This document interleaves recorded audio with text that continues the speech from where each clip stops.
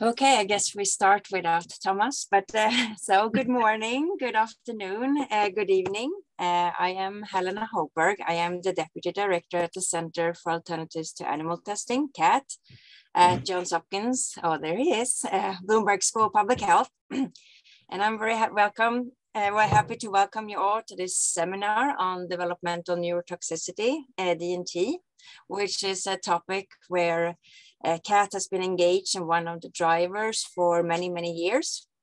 Uh, with the aim to develop an alternative approach uh, to animal testing. Uh, and this is not only an informative uh, seminar, it's also my farewell seminar as I am leaving CAT after 12 wonderful years. At, and I'm going to take on a new challenge. I'm going to join uh, NICETM and uh, starting next week.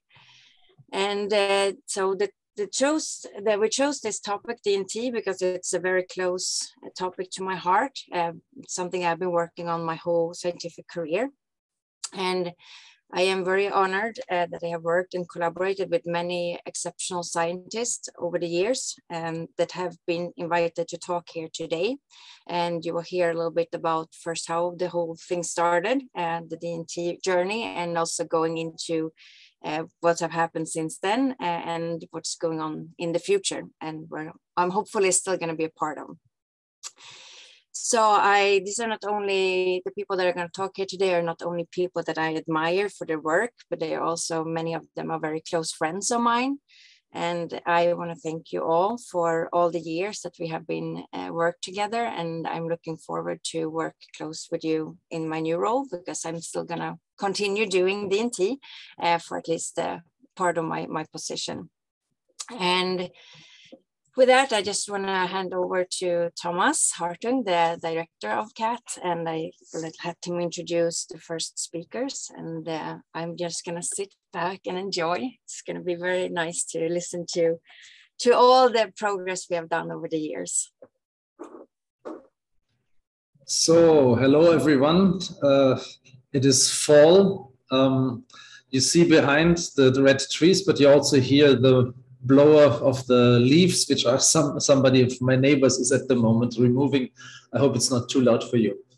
Uh, it's a bittersweet moment when um, somebody is leaving, but that's what we are all about in academia. We are promoting people. Sometimes it takes 16 years. That's the time uh, Helena and myself worked together. Um, and if it was not such a good place she's going to, uh, working with close friends and collaborators, I would be, it would be really a more, even more sad moment than it is like this. Okay, um, I have the pleasure of introducing the speakers, and um, the first is a joint presentation, but given by Alan Goldberg. Um, was at the very beginning of all of the activities on developmental neurotoxicity. And uh, he has teamed up with Pam Lane, who was originally associated with the center and has continued to work on this topic uh, until now and has been in the center of uh, developmental neurotoxicity. It all started formally with a workshop in ECVAM, which we organized in 2005, where CAT, ECVAM, and CEFIC uh, organized um, uh, yes, uh, a workshop to identify the path forward towards an in vitro testing battery for developmental neurotoxicity. This led to a paper in 2007, as you will hear, in environmental health perspective, where we laid it out. Uh, so it was from the beginning a joint venture between Europe and the US, and you will hear today a lot of presenters uh, with uh, giving you a view on this, but the history and how it all started is up to Ellen, and it's my pleasure to invite you to give your presentation, Ellen. Thank you, Thomas. Helena, it's a delight to be here and to recognize your good work in the past and looking forward to your good work in the future. Uh, you only see me, but my co-presenter is Pam Lyon, as Thomas mentioned. Uh, she and I began to talk about doing something in DNT in 2004. And it is a shame she can't be here today, but she's here in spirit let me start though, because it's always called Test Smart DNT. So let me step back for a second to give you the Test Smart part of DNT.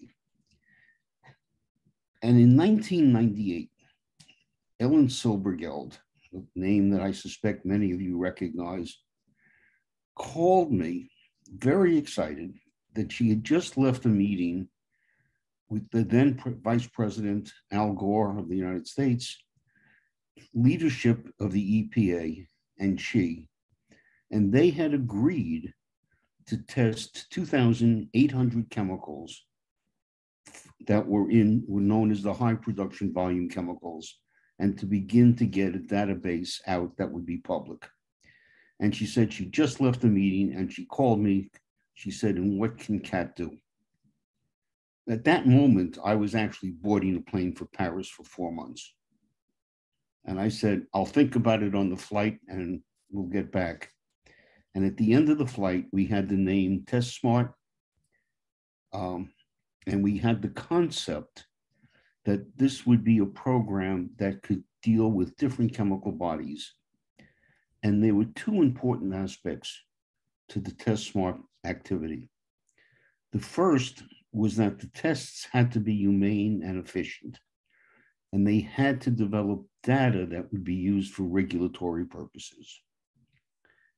The second basic premise of all of the Test Smart programs was that they included research scientists, government scientists and regulators, industry, and public interest groups.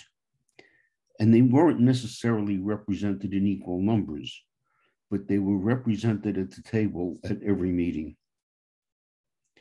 So starting in 2004, Pam and I began to discuss how do we deal with, with TestSmart. At the time, we were attending a meeting in Aspen, Colorado. And for those of you who have not been to Aspen, Colorado, it's a lovely little town where the average house price always struck me and blew me away. The average house price was $3 million in 2004. I don't know what it is now. I didn't start saving to buy a house there. that meeting, Kevin Crofton, was there from the EPA. And Pam and I invited him to join us at dinner to talk about TestSmart DNT. At that point, Kevin, to say the least, was not enthusiastic about in vitro assays. Uh, but he listened to us and at the end said, You might really want to work with Bill Mundy of the EPA. And what we shared with him and I believe it was true then and still is, is that the traditional animal models that were being used to do neurodevelopment neurobiology really were just very cumbersome, not necessarily predictive, and would require huge sets, huge numbers of animals. Point I made was that we have a real opportunity with DNT as distinct from other categories in that at that time, there were no in, vitro, in vivo batteries of regular tests that were used to do developmental neurotoxicity. In fact, almost nobody was doing developmental neurotoxicity. So we had nothing to replace. We had to start from scratch and we had to build it from the very basic ingredients that we had available. Um, so let me move forward for a moment and go to the end of DNT1, which took place in Reston, Virginia. And Kevin came up to me at the end, and he was like a fish that grabbed the worm. He had us. He understood what we were really trying to do. And he made the unbelievable offer in that we were paying all of the travel expenses for the EPA presenters. He said, EPA thinks this is so important, it will pay all of their expenses. And we never had another expense for an EPA presenter from there. And it also, I think, started the EPA on a path of really going forward including the EPA contracting with the National Academy of Sciences to look at toxicity testing in the 21st century. So I think DNT had a very critical piece of the pie to develop what we all do. At that moment, uh, we formed an initial steering committee to develop the program, but the steering committee grew with time.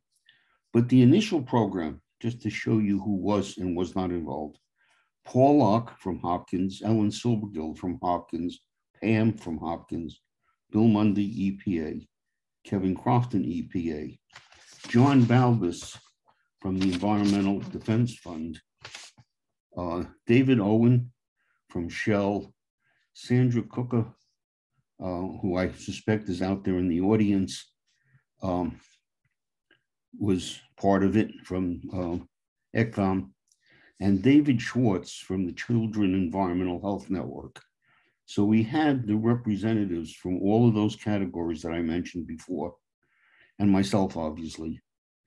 And then as the program grew and funders became part of it, we grew as a steering committee as well as doing the, uh, the program.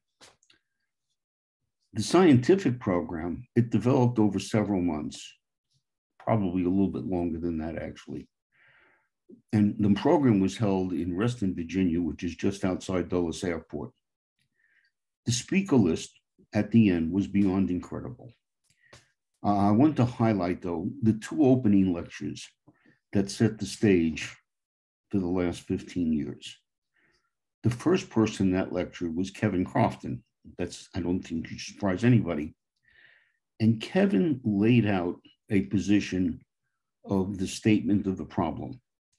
Um, and it was sort of surprising to hear what he said at that meeting because in a fairly short period of time, about a year and a half or a little bit less, he went from thinking that in vitro assays could never provide regulatory data to this is the only way to go. The second speaker really set the stage for DNT. His name was David Ginty. At the time, he was a Hopkins uh, professor in the Department of Neuroscience.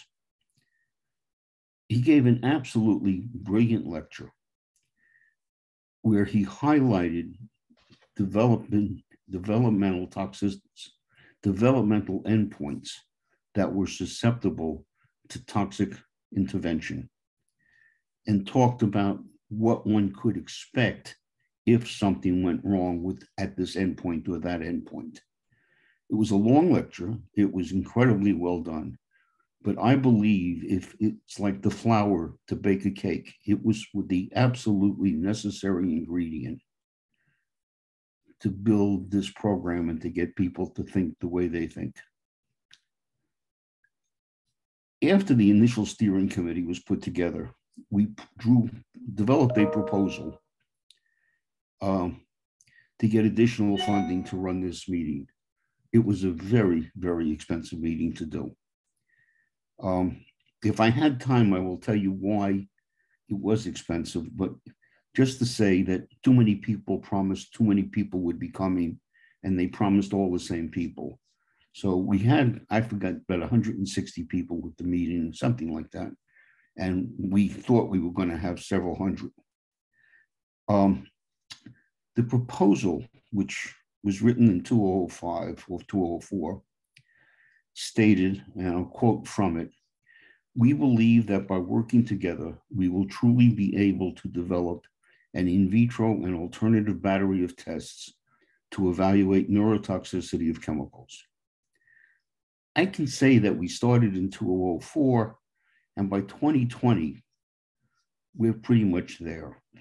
We already have, and the rest of the program will highlight these advances that we have.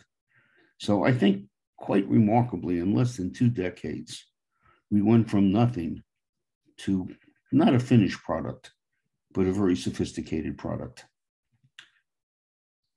Helena, Pam said, and I quote from her, I truly appreciate your scientific contributions and your advocacy on the need and value of alternative methods. As for me, Helena, I wish you extremely well in your new and exciting position. I know you will do well and be respected and appreciated for all you do. I will continue to miss, but have very fond memories of our pre COVID hugs. All the best. Thank you. Thank you, Alan. Thank you very much, Alan, for setting the scene and reminding us uh, how this all started. Um, I think uh, you put the point, uh, it was a remarkable thing to develop in 20 years, which sound for young scientists long, for those more seasoned, uh, like uh, uh, like Just a Glint. it is really a, it was it is a remarkable program, and we will hear now more about all of this. So thanks for getting us started. Um, the my computer just decided to put away the uh, uh, the agenda, so I have to actually retrieve it somewhere. Um, Next one um, is easy, Thomas. It's it's okay. Lena. Okay, so yeah, uh, this is somebody I know quite well. Uh, I have the pleasure to announce my own wife, um, whom we recruited to the DNT program, and then I recruited her to my private life. She has been, I think, working closest with Helena um, in setting the developmental neurotox program. And uh, so I think she's uh, the right person to give you an overview what CAT has been doing in this field uh, science-wise.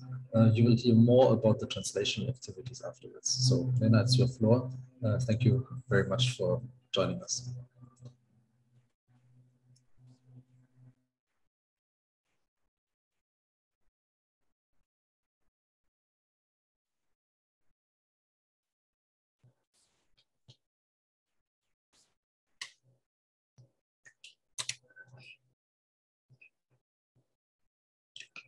Hi, everyone. And uh, sorry, I'm just technically setting myself up. So um, thank you very much for giving me the honor to talk about what CAT has been doing in the lab over the last uh, 12 years. And so I will talk about the DNT journey uh, of our research and obviously the uh, reason we are all here today, Helena Hogberg, who is the driving force of these activities. Um,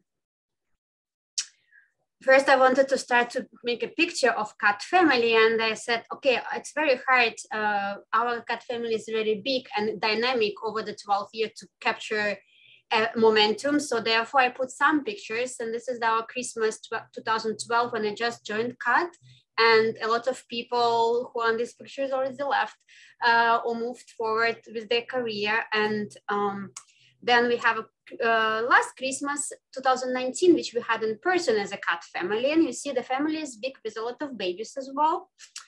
And um, as the last picture, I put the current lab team, who is the, our current DNT lab, lab, who is now this year uh, working in our lab on uh, DNT. Um, so how it all began.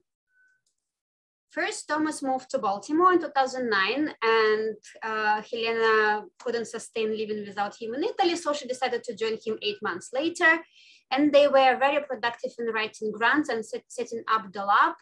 Um, and were very successful and got 2011, 2012, very important grants from FDA and NCATS uh, FDA grant was supporting the model Helena brought to the to the CAT and established in the CAT, and NCAT's uh, grant helped to humanize that model. So, and let's start from the beginning about the uh, rat model Helena established in our in, in, in at CAT. So this very old model actually developed in, in 70s, uh, where the rat pups um, uh, isolated, the brains from rat pups isolated, and then the uh, single cell suspension can be reaggregate again in such uh, small spheres, which uh, reaggregates in uh, rat brain uh, aggregates. And Helena and Erwin was two partner in crimes who were working on establishing that model at CAT and looking into the pathway of neurotoxicity and develop neurotoxicity using that model. And the main focus of Helena was the flame retardants and uh, so she was looking in developmental neurotoxicity of organophosphate flame retardants. And this work was published recently uh, in uh, Archives and Toxicology Journal. And uh, why she was interested in that? Because flame retardants are extensively added to the consumer product, especially in the US. So Europe has less of this problem. And there was a group of flame retardants uh, historically used, but they were concerned for uh, being neurotoxic and developmental neurotoxic, developmental toxic. So therefore they were replaced with organophosphate flame retardants but those were not uh, extensively tested and hazard assessment was not performed. So we don't know how safe are those. And they are structurally very similar to organophosphate pesticides, which are really known uh, neurotoxicants. So therefore, the, Helena used the rat model to analyze the neurotoxicity and developmental neurotoxicity of those flame retardants. And what she found is that alteration of genes involved, that she found out that genes which are involved in neural differentiation, morphology and functions were altered, genes which were involved in gliogenesis was altered. She, she saw neuroinflammation and reduction of neurotransmission in that model, suggesting that the replacement of uh, uh, replace replacement of flame retardants probably was not the, the best idea to do. And we have to uh, look further into the issue of flame retardants, how we can avoid using them probably. And then uh, this, uh, the development of the rat model gave the idea to, to humanize that. And this is in 2012, the era of human mini brains began. Uh, Helena and um, um, Thomas back then, they wrote a grant proposal with some uh, partners from Johns Hopkins um, and uh, to the NCAT uh, to, to develop a brain organoids model of mini brains from induced pluripotent stem cells. And David joined later the lab and he executed the pro, uh, project. So this is the, the scheme how the mini brains were developed. So we start from induced pluripotent stem cells toward neuroprogenitors. And then when we put neuroprogenitors on the shaker, due, due to this gyratory shaking, you can see the tiny small little dots, we get the brain organoids, humanized brain organoids. So the model is, uh, was successfully published in many journals, and I will describe some of them, these publications. So what are those brain, or brain spheres or mini brains? They are iPS derived. They have all cell types of nervous system, um, neurons, astrocytes, oligodendrocytes. They don't have microglia, but we can add it. Uh, the one of the main, main features is we have a myelination in our system they are small in size and they can be controlled. Uh, the size can be controlled as well, which is also very important in uh, for toxicology. Uh, the reproducibility in size and com cell composition. And since we have IPS, we can use the dependent genetic background to study different diseases. And this is the very abbreviated list of all the projects we have been doing at CAT, um, working on neurodegeneration, neurodevelopmental disorders, uh, infection like Zika and SARS, uh, looking into the myelination, uh, in, uh, blood-brain barrier model, cancer research, uh, gene environmental interaction, and so on and so on. I don't have time to go all, all those projects we, we have uh, running. Uh, I will give you some glimpse with the focus on uh, obviously DMT. Uh, I must say upfront that the, uh, this model was uh, successfully licensed to the uh, by company Axogene, which is located in New Orleans. And you can see that Helena and Thomas, they are on the board of this company and I'm also consulting them. So like in the middle of my talk, I have a, a conflict of interest disclosure. So we, as I already said, we use this model for developmental neurotoxicity testing. One of the first papers uh, we did, and Katarina Block, who was a master student with us, did uh, together with David most of the work here. We looked in the rotenone, which is non-neurotoxicant, whether it has also developmental toxicity potency. And what we saw is that the uh, immature brain organoids or mini brains were more susceptible to rotenone exposure than the more mature cultures. We also looked in some drug toxicity and we um, looked in paroxetine, which is, or Paxil, which is the uh, serotonin uh, reuptake inhibitor, very broadly used antidepressant, and also was used by pregnant women and uh, um, lactating women uh, to, to treat postpartum depression. And uh, what we found when we treated our brain, mini brains with the, uh, this drug, paroxetine, in a human relevant blood level levels, which were found in patients, we found that it's perturbs synaptogenesis, first of all. You can see here that the uh, reduced uh, synaptic pointer in comparison to the control, and also reduced the neurite outgrowth, a functional endpoint, uh, suggesting that it's uh, developmental neurotoxic. And this work also was done by David Shelley and Rita and published uh, in 2020. So uh, as already said, one of the main feature of our mini brains is myelination, and you can see uh, very nice uh, myelin sheets wrapping the axons on the electron microscope uh, picture, and uh, oligodendrocytes present alongside with the axons on the lower picture. And um, Megan, who was a master student of Helena and David, she developed an essay uh, how to quantify the myelination uh, and how we can quantify that upon the treatment of different chemicals. And again, this work was recently published and you can see here in exam example pictures where the brain, brain mini brains were treated with the uh, which is the very known uh, toxic uh, toxicant for oligodendrocytes. And you can see that myelination was reduced with increased concentration, but not, it was not toxic for neurons. Uh, and recently, um, moving forward with our mini brain model, um, we were trying to optimize it for DNT, obviously, to accelerate the uh, process and try to establish the model for screening uh, capacities. And, uh, uh parallel to that, uh, you might, everybody heard that um, EPA administration in 2019 announced the huge movement by EPA um, toward reduction and uh, elimination of any animal testing.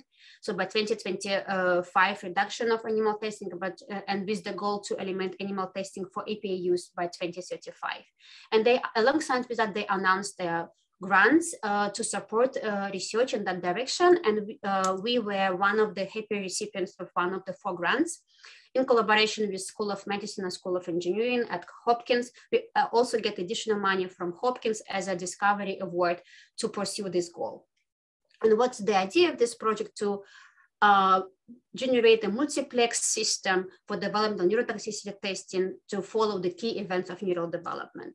Because when we looked at our brain, uh, mini brains model closer, we thought, yeah, we all known about uh, key, key events of neural development, which is here on the background of this slide. Yeah, it's neural neurodifferentiation, gliogenesis, synaptogenesis, uh, network formation, uh, neurite outgrowth, migration, and so on. And most all of those um, aspects of the development we can mimic in our brain organoids model. So therefore we thought we can uh, com um, com compress all the key events and all the assays in one model. And this is what we are doing using the CRISPR-Cas9 and Carolina Romero, who is running this project and working on it very hard to generate the mini brain rainbow, if you wish. So we would like to uh, talk with different fluorescence markers, different lineages in brain organoids. For example, oligodendrocytes, neurons, astrocytes, presynaptic marker, postsynaptic marker, and then have it everything in one cell line, which uh, uh, one IPS cell line, which would then will be differentiated to mini brains, and then we can screen toxicants first of all live and see how the neural de development and lineages are perturbed, but also screen in the highest throughput manner using high content imaging. And here's this one example of our, the first cell line we generated, which was uh, uh, PLP, and this is the marker for oligodendrocytes. And you can see here on the fluorescence image, the um, axons in purple and oligodendrocytes and uh, going al alongside those axons in green expression endogenous PLP and colocalization uh, on the right side, colocalization of endogenous GHP with PLP antibody. So this cell line can be now used to screening the toxicants for uh, oligodend, uh, which are toxic for oligodendrogenesis. Also, as a part of this EPA project, we teamed up with bioengineer department and Dr. Gracias and his PhD student who are working hard, hard to develop uh, EEG for our mini brains. So this is the, as you can see on this cartoon, this is the shell which wrapping around the mini brain like a, uh, like a, a, cage, and then it's populated with the electrodes so that we can record the electrical activity with the one of the main um, features to be used as a functionality measure of, uh, of neuronal cultures um, from, uh, from in, in 3D from the entire surface of the brain spheres. So how we would do it with humans EEG. So you can see here to the right the, uh, those chambers and then how the mini brain is sitting inside. And we are now currently in that moment we are recording over the many weeks of, of brain uh, mini brain cultures. Um, every week we're recording the signals and this is the example of the uh, of the recording. And of course, uh, DNT goes side by side with the outcome of DNT, which is neurodevelopmental disorders. Therefore, one of one of the big chunk of work which Kat is doing is toward neurodevelopmental disorders, in particular autism. And why, why autism is because this is, we have an epidemic of autism. The cases are increasing dramatically over the last um, decades. And now CDC uh, uh, uh, says that it's one in 54 children who, who is born in US is diagnosed with autism. And of course, we cannot explain that increase only by changes in genetic or changes in an environment. So therefore, our hypothesis is that it's gene-environmental interaction, which if not trigger the disease, but uh, can influence the symptomatic of the, uh, and put the people on different spectrum. And to look into gene environmental interaction for autism, we decided to look in two components, a strong genetic background, which is the mutation in uh, CHD8 protein, which is the very important regulator of brain development and also high risk autism gene. And you can see the network of, of, of, of this uh, gene, uh, how many genes it regulates. And many of them are actually also autism risk gene. So it's very important gene uh, for our neural development. And, uh, and long-term sus suspect uh, to be associated with autism clopirifos, which is an organophosphate pesticide um, which is uh, was described to have uh, effects on neurodevelopment and was finally recently banned by uh, by EPA. One month after our paper came out, I wish it was because of our paper. It's not. It's a coincidence, but um, it, it's finally banned. And so what we did, we teamed up with Dr. Lachman, who you see here in the picture, who provide us with CRISPR-Cas9 modified IPS line, which, which had a heterozygote mutation of this gene. So we had only half of the gene expressed. You can see here on, on this Western blot as well, that if you look here, um, control cell line versus the mutant cell line. And then we treated this uh, control line and mutant cell line uh, mini brains with clopirifos. And surprisingly, we found the clopirifos itself also reduced this, uh, this protein, suggesting the downstream effect of the mutation and exposure can, uh, can, can be the same or the same pathways can be perturbed. Then we also looked in uh, biomarkers of autism. So we, we did a literature search where we collected different uh, metabolites and neurotransmitters associated with autism in patients um, in blood, urine, and brain. And then we measured the same metabolites and neurotransmitters in our uh, system in brain spheres. Uh, comparing just uh, what, how these new, uh, metabolites are perturbed during the, due to mutation, how they are perturbed due, due to exposure, and whether we have any synergy. And we do find a correlation between two, so suggesting that we mimicking uh, in vitro, what we see in patients, A, and also we saw some synergy. For example, on tryptophan and pathway, uh, we had increase of tryptophan due to mutation and even further increase of tryptophan accumulation due to uh, in, in a mutant uh, cell line treated with clopirifos, suggesting that certain metabolic signatures are, are um, su suggesting a synergy between genetic and environment. And if you, it's just really short glimpse of, of this study, and if you're interested in more details, it's recently published in AHP. Uh, and Sergio actually uh, did a great job and did most of the work in, in this project. I, I hope I didn't run over time. Uh, so this is the uh, summary slide. It obviously takes a village and it's a huge village to move the such a complex field as DNT forward. Of course, we, nothing can be possible without many, many collaborators. And, and these three dots uh, uh, uh, to the right showing that it's not the full list of all the collaborators Kat has had in the years to, to move DNT field forward. Nothing is possible because, without the funding, obviously, where we have different agencies and foundations and organizations supporting our research.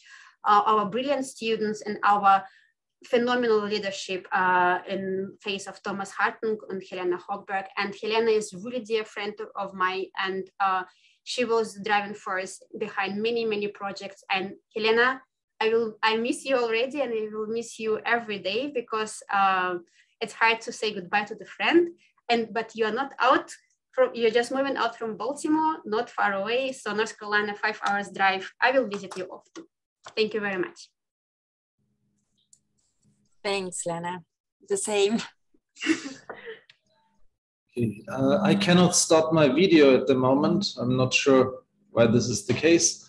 Um, like to thank uh, uh, thank Lena for this overview of um, of work done um, in our in our center. We very often are talking about what needs to be done. Uh, that's the nature of a center, which is so broad in its uh, its purpose.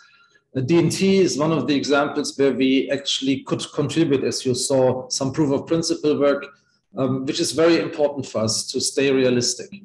Because it's very easy to say um, we get rid of an animal experiment in 10 years uh, if you don't have to publish. And sometimes you see the publications follow the grants with several years um, because that's the nature of doing science. Uh, and we have to be very humble in, in many of these aspects. And this is what this teaches us. I think also for our credibility, it is extremely important that we are publishing in high level journals, that we are scrutinized by our peers in the type of work we're doing, that we demonstrate we know the technologies uh, we are talking about. Um, and Helena and Lena have been really leading this experimental part of the brain work uh, over the last years, uh, I think really with very nice successes. Um, do we have any questions on the chat? Because uh, we would have a few minutes. We were very fast so far, but I only see congratulations so far. Um, we might come up back to any questions you have. Uh, please post them in the chat, and we can um, and we can uh, read them and, and have them answered by our presenters. There's nothing at the moment, so I think we can move on. And uh, with Alan Fritsche, we have a close friend and collaborator for many years who's on the other side of the Atlantic, um, working on DNT and has uh, a very um, not only experimental but also facilitating role in making in vitro DNT happen. She has worked very closely with Helena, and for this reason, she's most appropriate to talk about uh, this part of the venture um, which she's doing. Thanks. It's your floor, Ellen.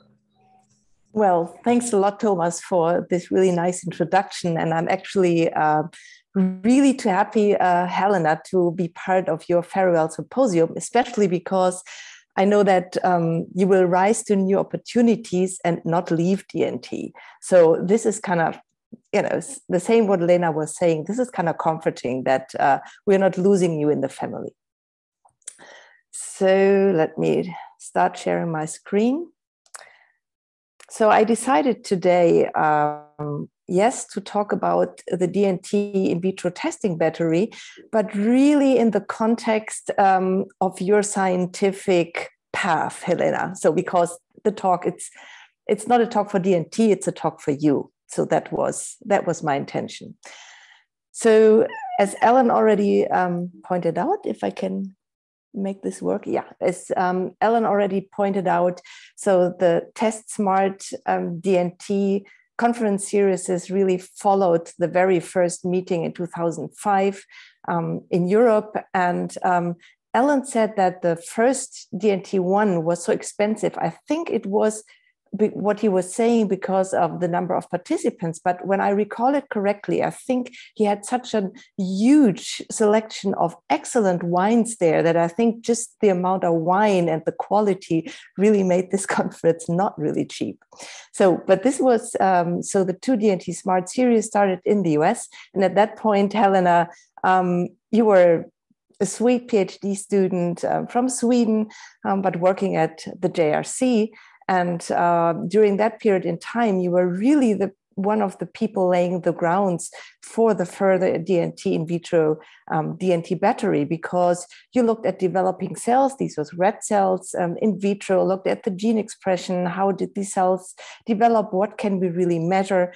And uh, also, most importantly, I think that your work that you did on the multi electrode arrays, also with red cells, um, really laid the ground for all the MEA work that is done these days, because so far MEAs had really been used for studying acute neurotoxicity and not really in the developmental context. And I think um, there you were really on the forefront. Well, then the DNT conferences actually moved to Europe. And what did you do? Um, in I think in 2009, you moved to the US. So it was kind of uh, on the opposite side. Um, so you started your postdoc there at CUT, but then you uh, you co-organized DNT4, and when I mem- remember correctly, you and Ellen Goldberg together gave the welcome um, opening of the DNT4 conference. So you were already um, very much involved here, also in the DNT, and so these meetings really laid the ground stones for something that um, most of you should be really familiar with, with, with its, uh, it's this image here of the neurodevelopmental processes that we kind of call basic for brain development. And um, I see this picture has been, it's kind of like a um, extended family picture because it's been around, yeah, since the first DNT meetings. Um, and it's been accompanying really the development um, of the whole battery.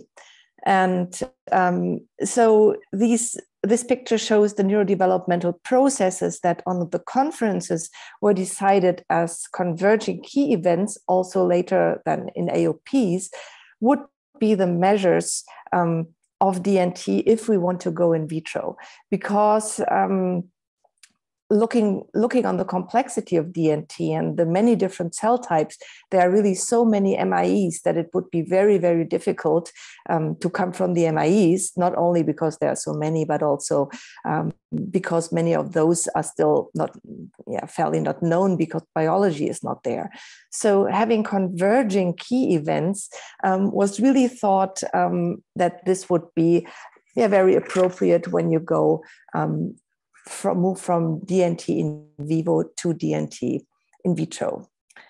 And um, so, shortly before DNT4, so this was now in 2013, um, Helena published the first paper on the very complex 3D model for DNT testing. So, this was really laying the groundstone because the, the image that you see here on the left, this is not um, a brain sphere where Lena showed all these nice pictures.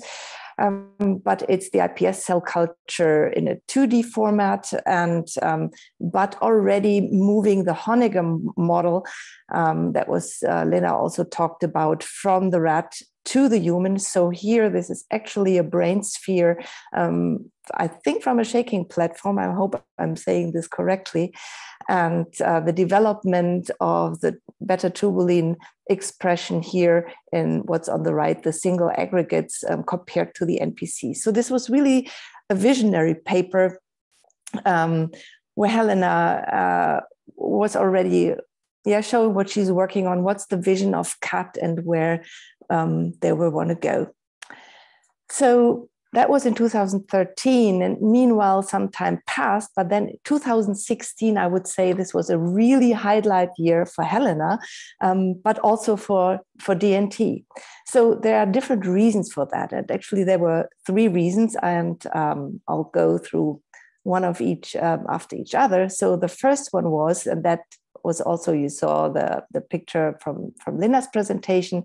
So david Pamis joined the team and the two of them um, managed to publish the first BrainSphere publication. And I know this was a tremendous amount of work, and it took them a very, very long time to get there because this technique is uh, rather tricky than easy if you just establish it. I mean, once the protocol is there, everything is um, kind of simple, but um, getting it to the point, really showing on the mRNA expression level um, what that, that, the different cell types develop to understand what time frame do we have to look at, looking at the protein expression, seeing that you have glutamatergic, GABAergic neurons in there, then also dopaminergic neurons from the subtypes, and uh, that these brain spheres even initially had electrical activity on the MEAs um, I think was uh, this was really a milestone um, in the field.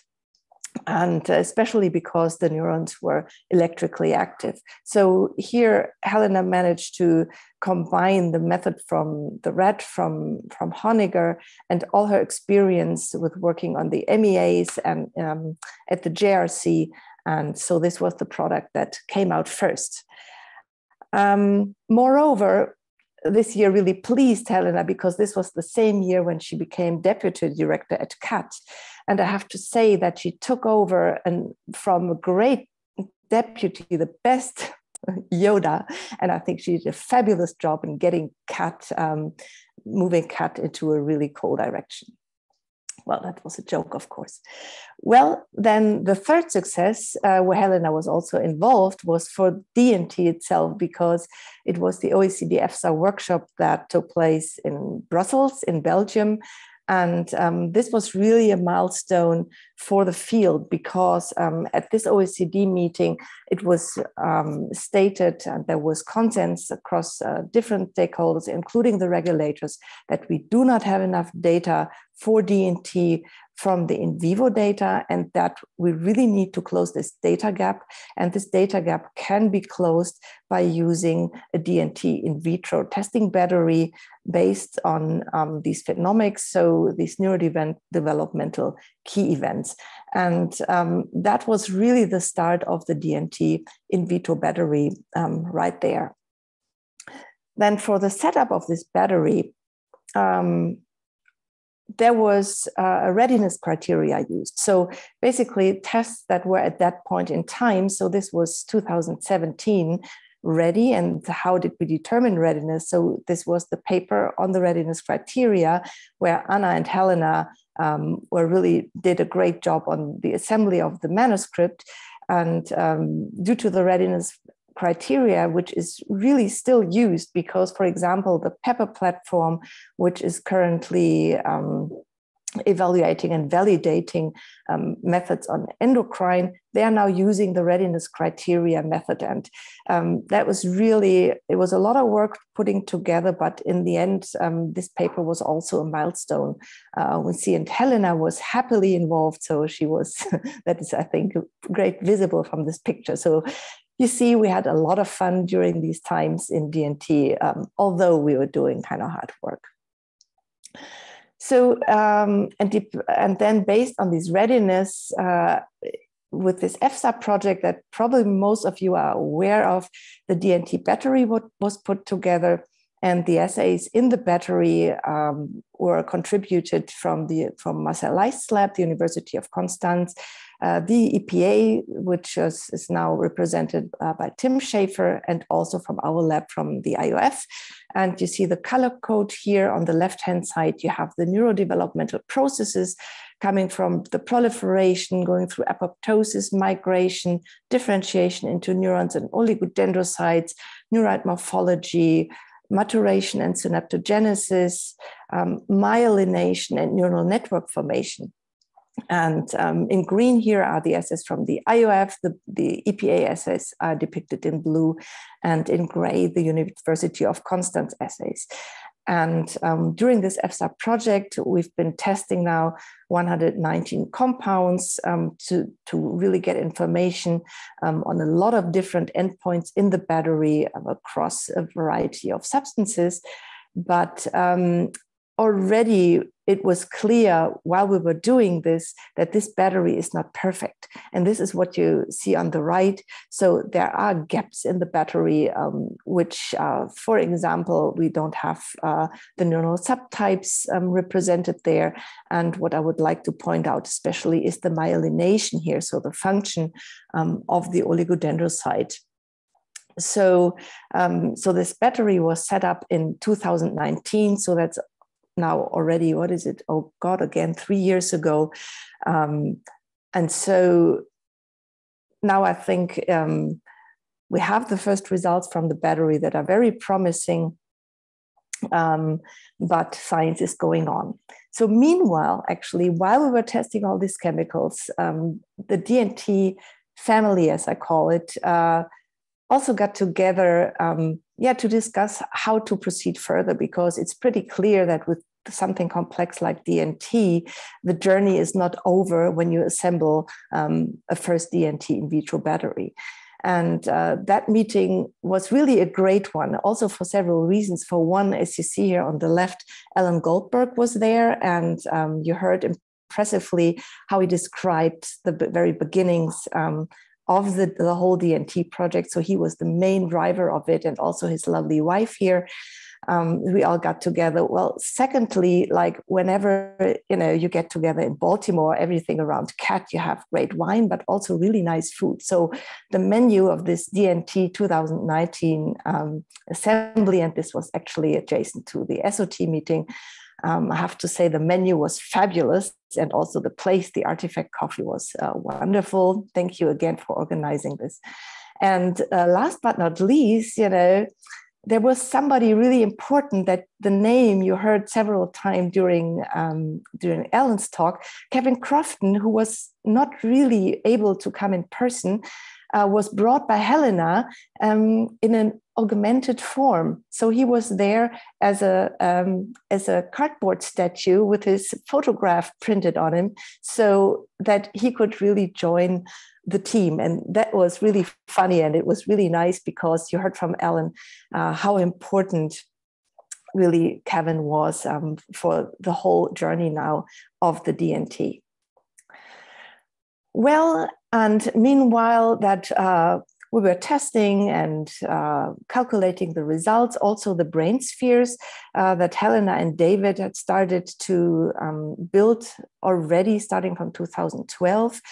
Um, yeah, really advanced. So microglia were actually um, added to the brain spheres and was shown that the responses of the brain spheres to pro-inflammatory stimuli was really different when you had microglia in there which is not surprising. So but this was a really big step towards um, making this an even more complete um, picture of the human brain then um, um, the effects of this compound, uh, paroxetine, was shown. And there, there has to be pointed out that effects on oligodendrocytes could be quantified. And um, that was further carried on with this publication here, um, with where it was shown. It was kind of a um, yeah a chimera between a review and um, their own data that the brain spheres are really well um, suitable for studying myelin disruption. So um, I think over these years that that Helena was at uh, at CAT as a deputy director. Um, also, the brain spheres have really evolved from from something very simple to something really complex and it's great to see how the how um, the different studies um, show the applicability domain of the assay and um, well so now this year the uh, the external scientific report um, of the interpretation of data from the DNT in vitro testing assays um, as the, an OECD guidance document, the first version was out, and the EFSA report on the testing of the chemical in the first battery um, is one of the bases and also case studies um, for this guidance document. It's right now um, it's under um, reconsideration and uh, comments were made and the comments um, are putting in mainly from Magda. Um, I think it was 90 pages. So Magda, I mean, I'm doing an incredible job. Um, and one sentence in the in the guidance document is, and I would like to cite that, that this battery was developed based on current knowledge. So from 2019, and improvements and revisions will occur as new assay methods and more chemical test data become available to improve predictive performance. And um, what we um, saw, what was coming out of uh, Helena's work with then help from David and um, also then teaming up with Lena and the great work that Kat is doing, I'm pretty positive that um, also the brain spheres are entering the battery in the future. And with this, I would like to end and again congratulate uh, Helena on your move from CAT now to the NTP. And um, I think this is uh, really a wonderful yeah, chance for the career. Wish you all the best of luck. And I hope and I'm sure that you will stay in touch with the DNT family. So thank you very much. And I didn't check my time, so I hope I'm okay. Wonderful, Ellen. Uh, thank you very much for this nice mix of science and uh, some uh, personal uh, uh, anecdotes. Uh, I think it shows very nicely that it takes a community to move things forward. You hear from all of these presentations the same names showing up once and once again. Um, we have a question for you actually here in, on the panel. Josef Hanig is asking, what do you consider to be the next possible step in vitro brain modeling beyond neurospheres and brain spheres as well?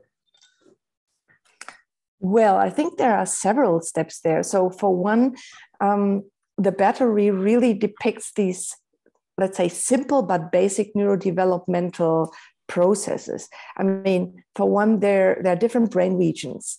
and there are communications between different brain regions. So at one point, I think we cannot neglect that what we are modeling right now is simplified. So there are organoids um, as the next steps. There are assembloids where you have different brain regions really talking to each other, where you can also measure the activity. Then the developing brain, of course, it's not in an isolated context, um, but you have the whole organism. So you have the placenta, you have the mother's metabolism, and so on. So um, the microphysiological systems and uh, organs on the chip, I know where you guys at CUT are also heavily involved. I mean, these are all next and exciting steps that I think we will need if we really talk about replacement.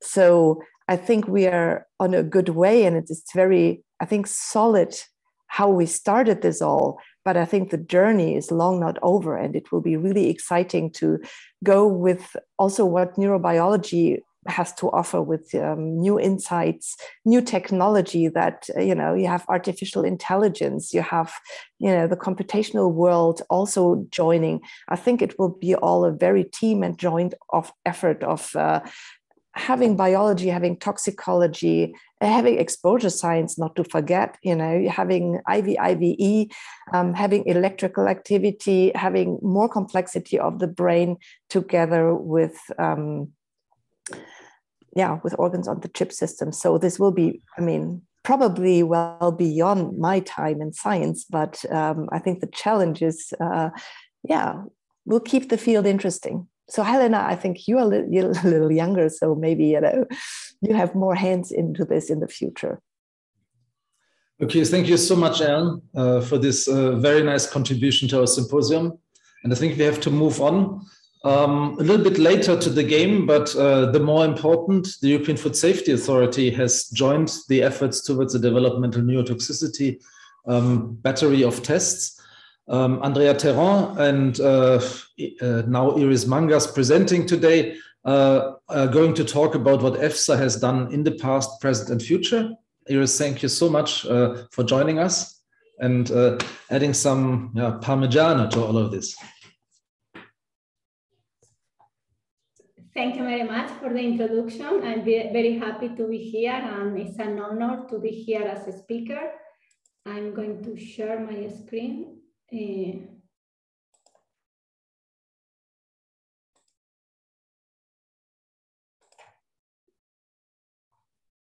hope you can see it now. Uh, um, I mean, no, Iris, it, we don't see it. You don't think? I don't think you shared. Sorry for that.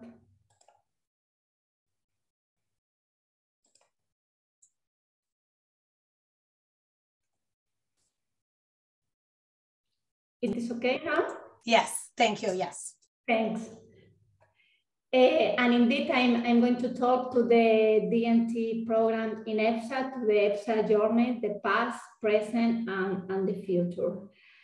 Indeed, uh, we arrived a bit late to this journey. Um, but since some years ago, EFSA is making an effort and invested resources in order to implement the use of in vitro test methods in the regulatory risk assessment of pesticides and of chemicals in general in Europe.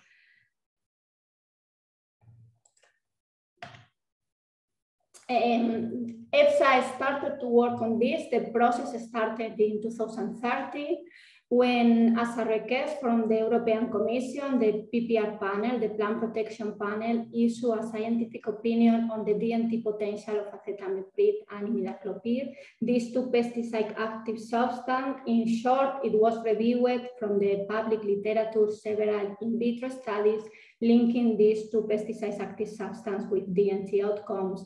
And the panel uh, indeed concluded that the, there is a DNT potential of these two pesticides active substance.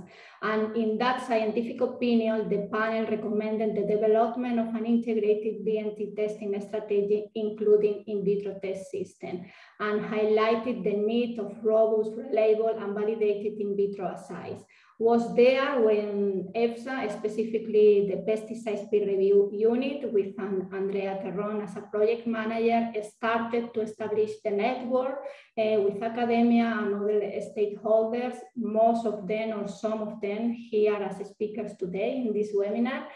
and uh, started to invest resources to, to promote the implementation of the in vitro of in vitro test methods into the regulatory risk assessment. Uh, a contract was issued to conduct a literature review uh, where several in vitro test methods uh, were reviewed and immediately after the, it was organized together with OECD, the, the workshop to discuss um, the use of non-animal test methods for regulatory purpose. In that um, workshop, indeed, um, several achievements were done uh, and several important consensus for the regulatory implementation, but mainly um, the, the, main, achieve, uh, the main agreement was that the current data requirement for DNT, the current approach was is not sufficient at that time and still valid. EFSA also participated in the consensus statement uh, published in the Toxicology and Applied Pharmacology on the need for innovation, transition, and implementation of DNT testing for regulatory purpose. Uh, these two documents, the output of the workshop and this consensus statement was presented to the PPR panel and the scientific committee of EFSA that included in 2020 as a key activity the development, the need for development of guidance and implementation of in vitro test methods for DNT risk assessment. Uh, immediately after that, an action plan uh, was drafted and, and a standard procedure was submitted to OECD for the preparation of the guidance. And since then, we have been working together with OECD for, for this guidance.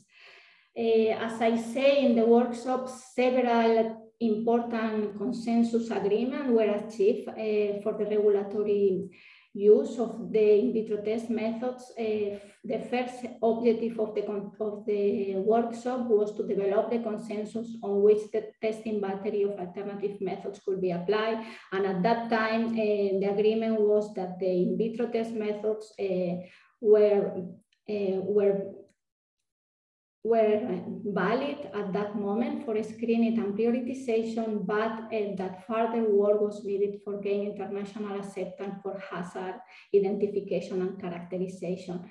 It was also identified the next step necessary for encourage the regulatory use, and it was outlined what could become the, the IATA, the integrated approach for including these in vitro test methods for screening and for hazard characterization all the scientific principles were reviewed um, to, for the test methods to test the fundamental neurodevelopmental processes critical for the normal brain development. And indeed, the different regulatory bodies where they are presented um, and where the scientific principles were discussed. So where are we in 2021? Uh, indeed, uh, this past two years, uh, from our perspective, it has been done a big progress. First, with the publication of the report with the in vitro battery, just presented by Ellen. Second, uh, with, the present, with the publication and presentation with, of several case studies, the one from two from EPSA that I will present.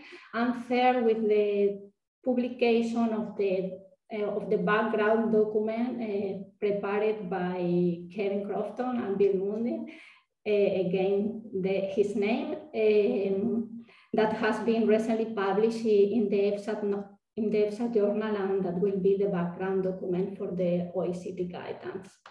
So as regard of the battery, just Ellen presented just to say that uh, uh, for us it represents a critical milestone because uh, we do have now uh, the protocol and the fit for post evaluation for different problem formulation. And importantly, we do have the data with 190 chemicals, more than half are pesticides. And we can now assess and analyze the data.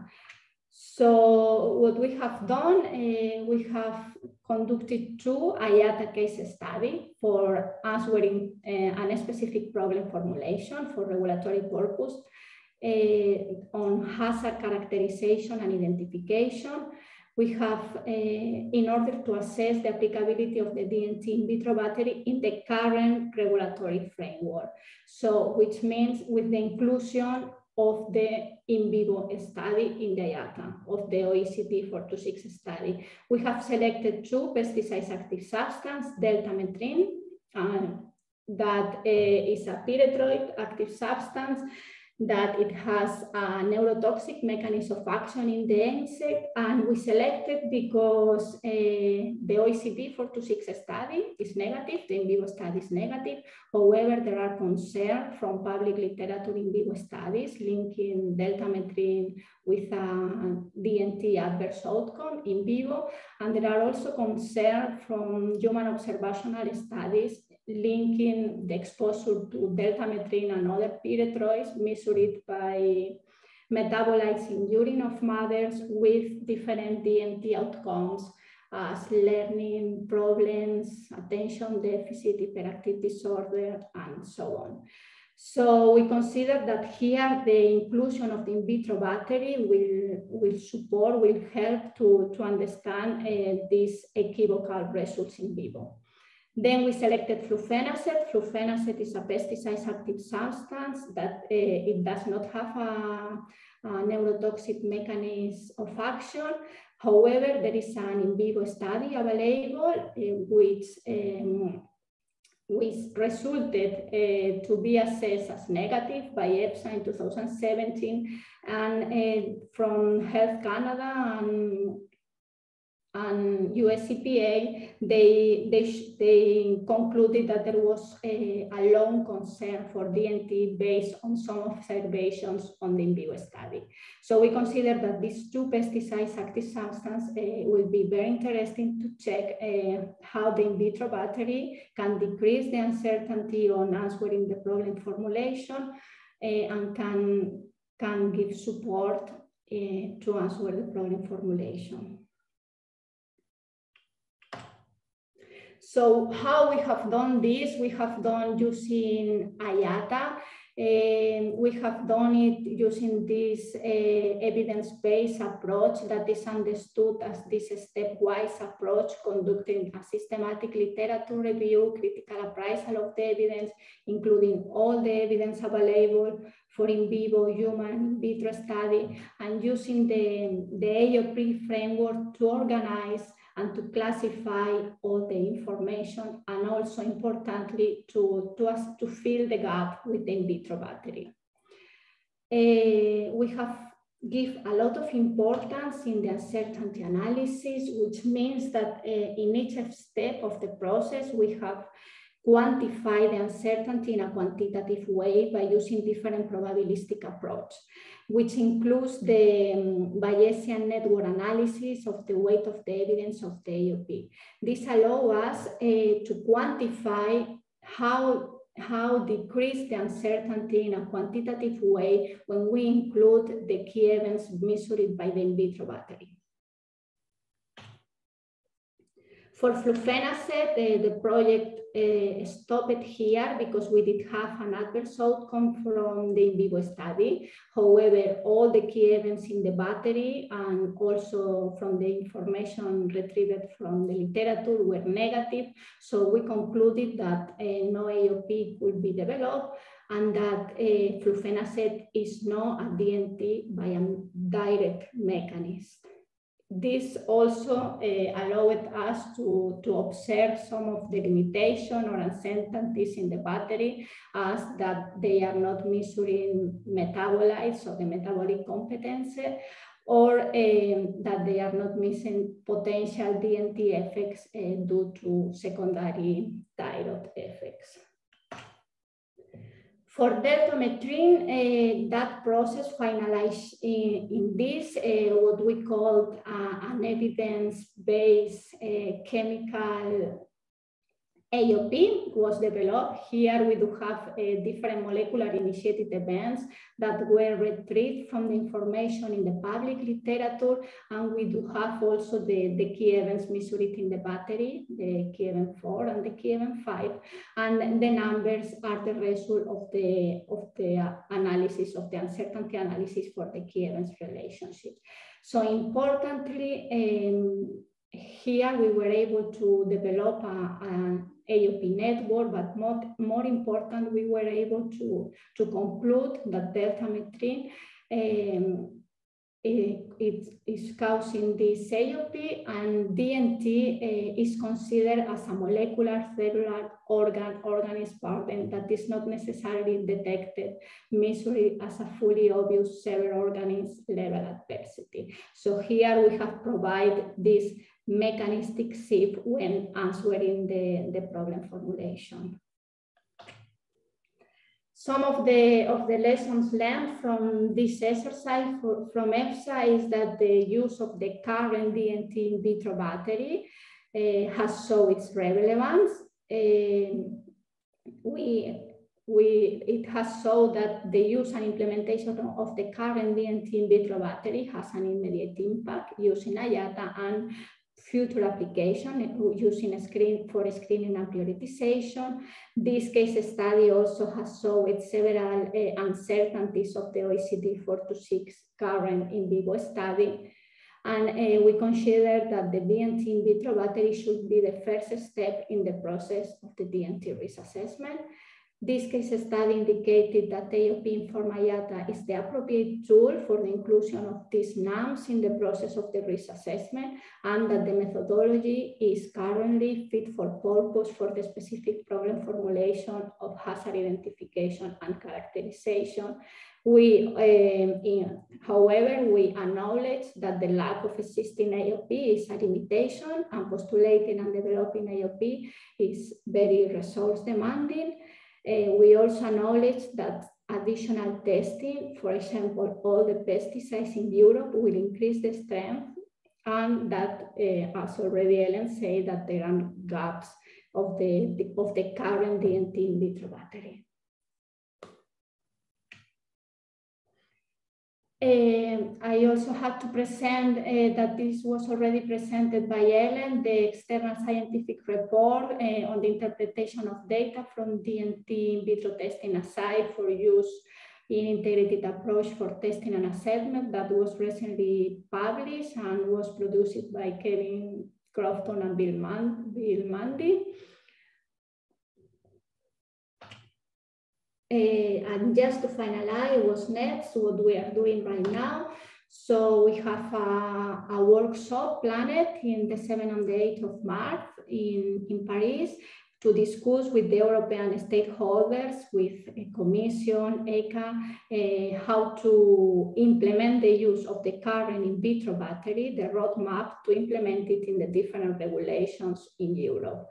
We do also plan uh, to have, uh, so it is already in the budget of 2022, 1,700,000 uh, euros for grant in order to advance the understanding of how chemical exposures impact brain health and disease and testing for. Uh, and we do hope to include DNT in, in, in, this for more testing. We also plan to continue working with OECD for the OECD guidance. We are also working in the development of an AOP, linking volatile case got sodium channel molecular initiated event with DNT adverse outcome. We are also working in, in including several, well, uh, 62 pesticides active substance DNT OECD 4 to 6 studies. We are extracting all the raw data and also the, the analysis from US EPA and from EFSA. And we also are collaborating with Kevin Crofton to, to do this in order to, to be able to, to compare, to assess the, the result of the in vivo with the results of the in vitro battery for this 62 pesticides active substance. And we plan to continue working uh, in order to, to regulatory use the in vitro battery for DNT soon. So thank you very much for your attention. Uh, and we wanted to thank Helena for her work on DNT. I'm very happy to be here. Thank you for my side from Andrea. He was very sad that he could not join today and from EFSA for your work. And we look forward to, to collaborate with you. Thank you. Thank you very much, Iris. Uh, I think everybody sees how important uh, the EFSA joining the team has been and how powerful all these initiatives are in promoting the case. Um, there's one question for you. We have not much time, so I hope for a short answer. Uh, Bayapadi asks, uh, compliments you and says, I'm wondering about uh, delta metrine. Are all these evidences you presented are based on literature review or on synthesis only?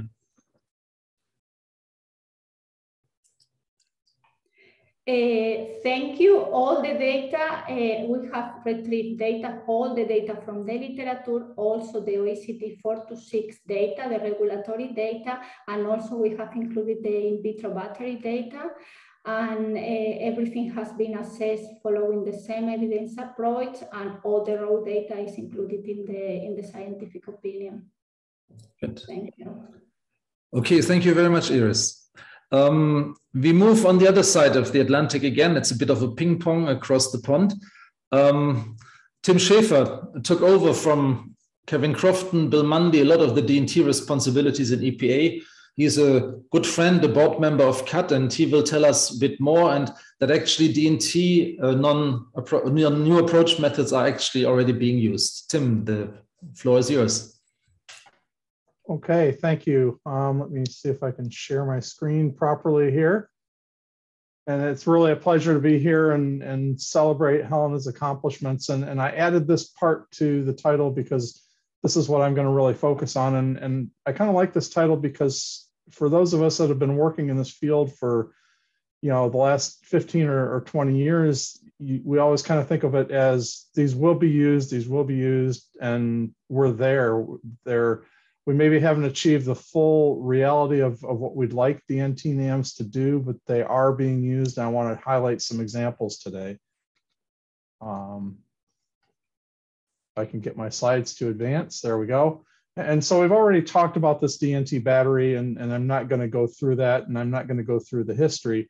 I, I do want to point out the network formation assay, which of course is near and dear to my heart, but um, and as has um, Ellen already mentioned, um, Helena was was key in in getting this started. Um, she published a paper in 2011 along uh, contemporaneously with the work that we published. You know, um, showing the proof of concept that that um, the network formation assay that you know MEAs could be a viable method of assessing chemical effects on the developing nervous system and and this is going to factor in pretty prominently to the examples that I'm going to present today.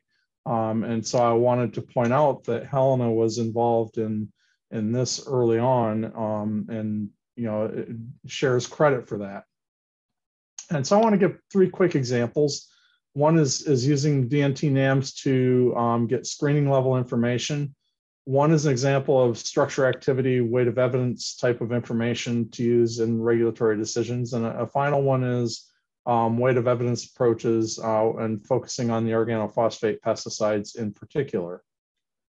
So I'll start with the, the PFAS compounds, um, and we are using uh, DNT NAMs currently to get information on the PFAS compounds. And as many of you are aware, there are over 3,000 of these chemicals. Um, they are ubiquitous environmental contaminants now, and there's really very little information on a number of toxicities for these compounds, including developmental neurotoxicity. So we've been testing a couple of different sets of PFAS compounds in the EPA laboratories. Um, and um, you know, we started out with 150. There were some issues with the some of those compounds in terms of their um, stability and volatility. So there were reprocured compounds, and, and we have data on um, about 140 of these compounds now. Um, primarily, the data right now consists of the network formation assay, although we've tested these in the other EPA DNT assays as well and are currently analyzing that data. And what we see is the, this is a heat map. Um, across the top here are different parameters of network function. Uh, you know, um, so for example, mean firing rate um, would be a general, a light blue category. Network connectivity would be a green category. Cytotoxicity assays are the black. You can see there's a group of compounds that are kind of pan-active where cytotoxicity uh, seems to be prominent. There's another group of compounds where there's activity in limited um, endpoints. And then we have a lot of these chemicals are not active in the network formation assay. And, and so um, about 25% of these are active and um, we have yet to assess their activity in the other uh, EPA assays as well. But ultimately what this will allow us to do is identify compounds that are a potential hazard for DNT and then characterize the exposures and then we can use read across approaches and, and, other techniques to further define the risks of these compounds. And that's what will be happening with the, the PFAS chemicals in the future as we move forward.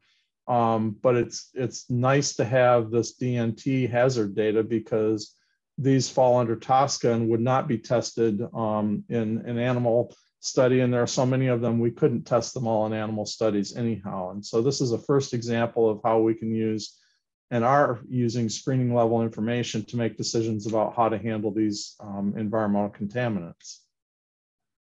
So next example comes from the Office of Pesticides at the EPA. And, and of course, that's responsible for registering pesticides for their use in the United States. And they had a couple registrants come forward to them saying, we want to register two new compounds, we'll call them Y and Z, um, I, I, think I'll be able to, in the near future, disclose what these compounds are, but I'm still holding off on that.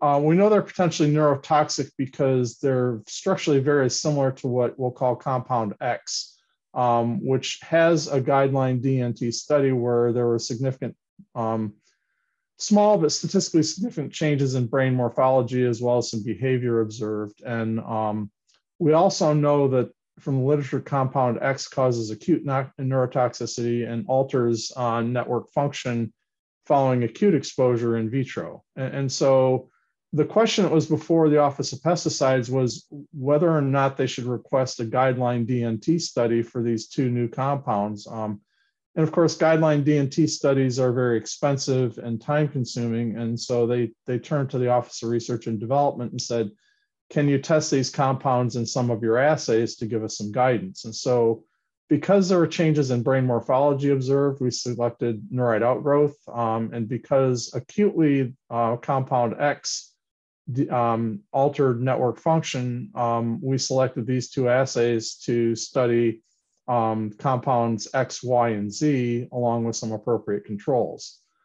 Um, and so the results were actually kind of surprising. I would have bet the farm, honestly, that because compound X was active acutely in the network um, function assay, that both X and Y and Z would have also disrupted network formation.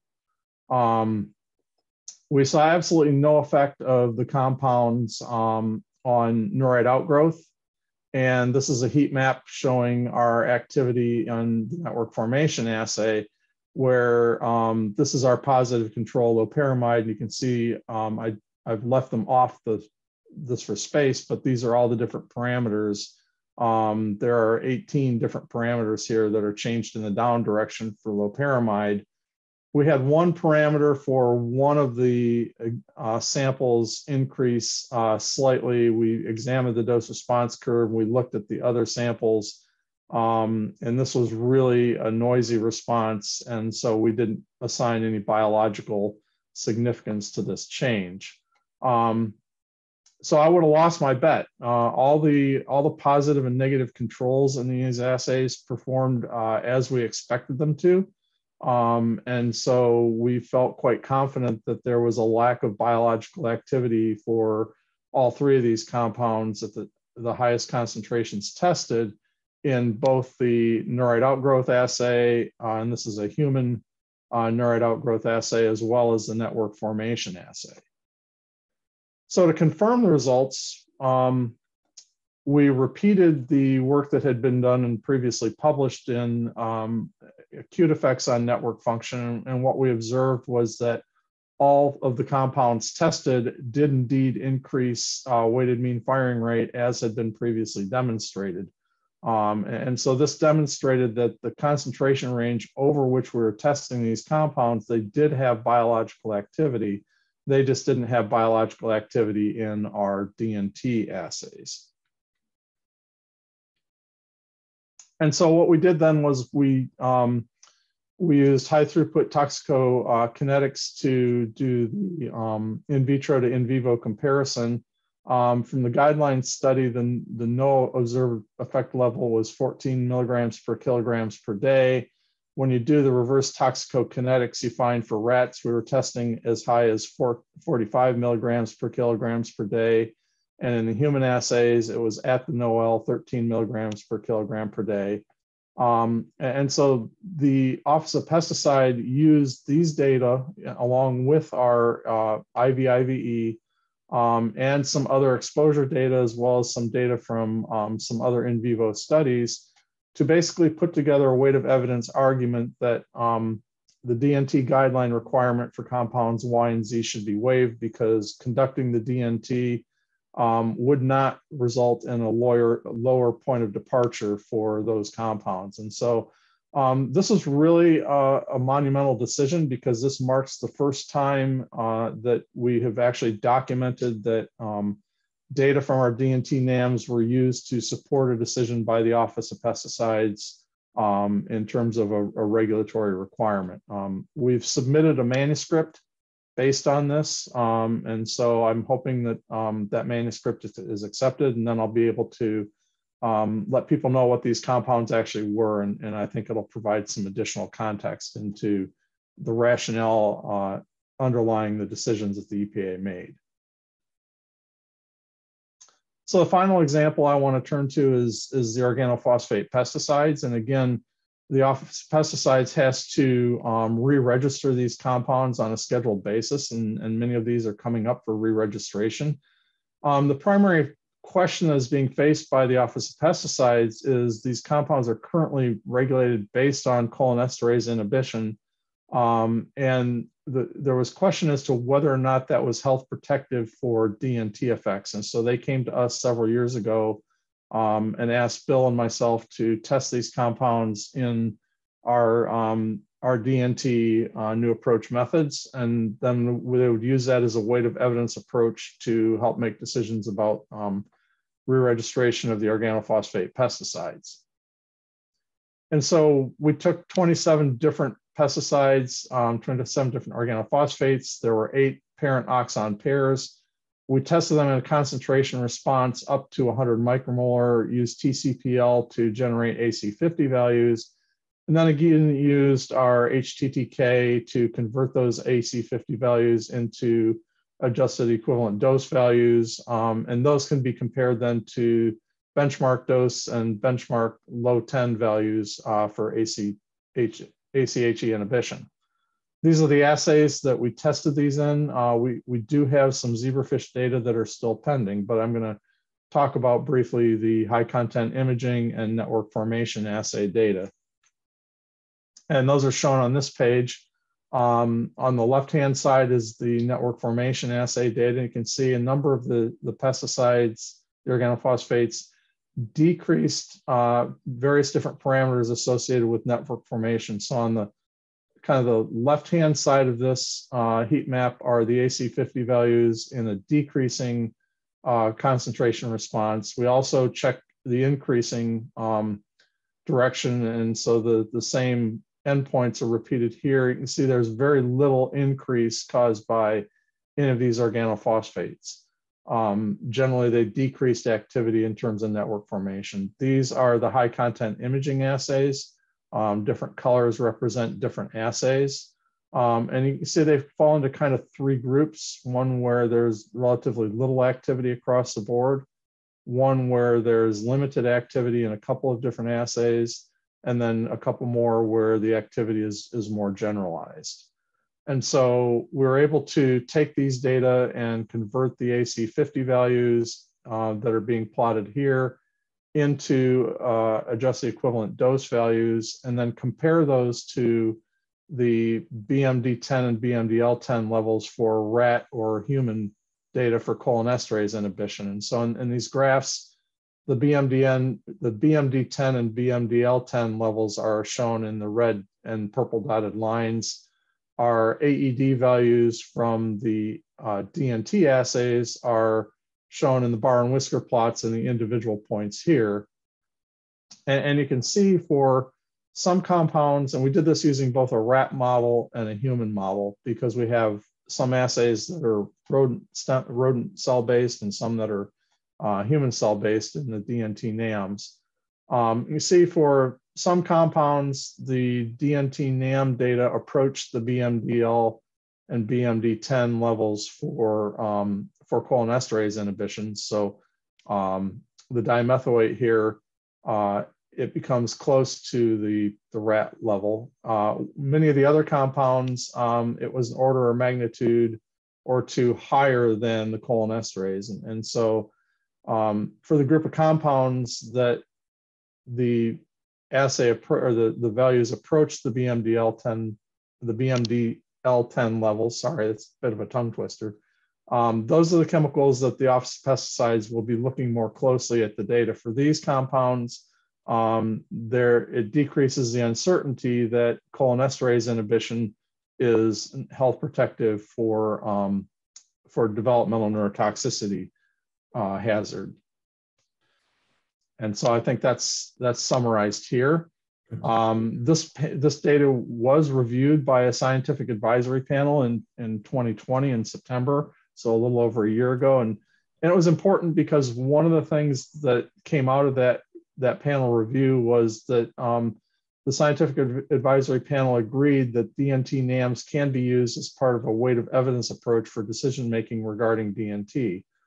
Um, what is ongoing right now is that um, these organophosphates are currently being tested in the DNT NAMs developed in um, Marcel Leist and, and Ellen Fritsch's lab. And so um, we will have in the future, probably by sometime next summer, um, or next fall uh, data on all of these OPs from all of the different DNT NAMs in the in vitro battery. Can you please wrap up or you do already? Okay. Yes, I, this is my last, second to last slide. Um, so there's three examples of how we're using these, a number of people to thank. And I, I wanted to put this picture up.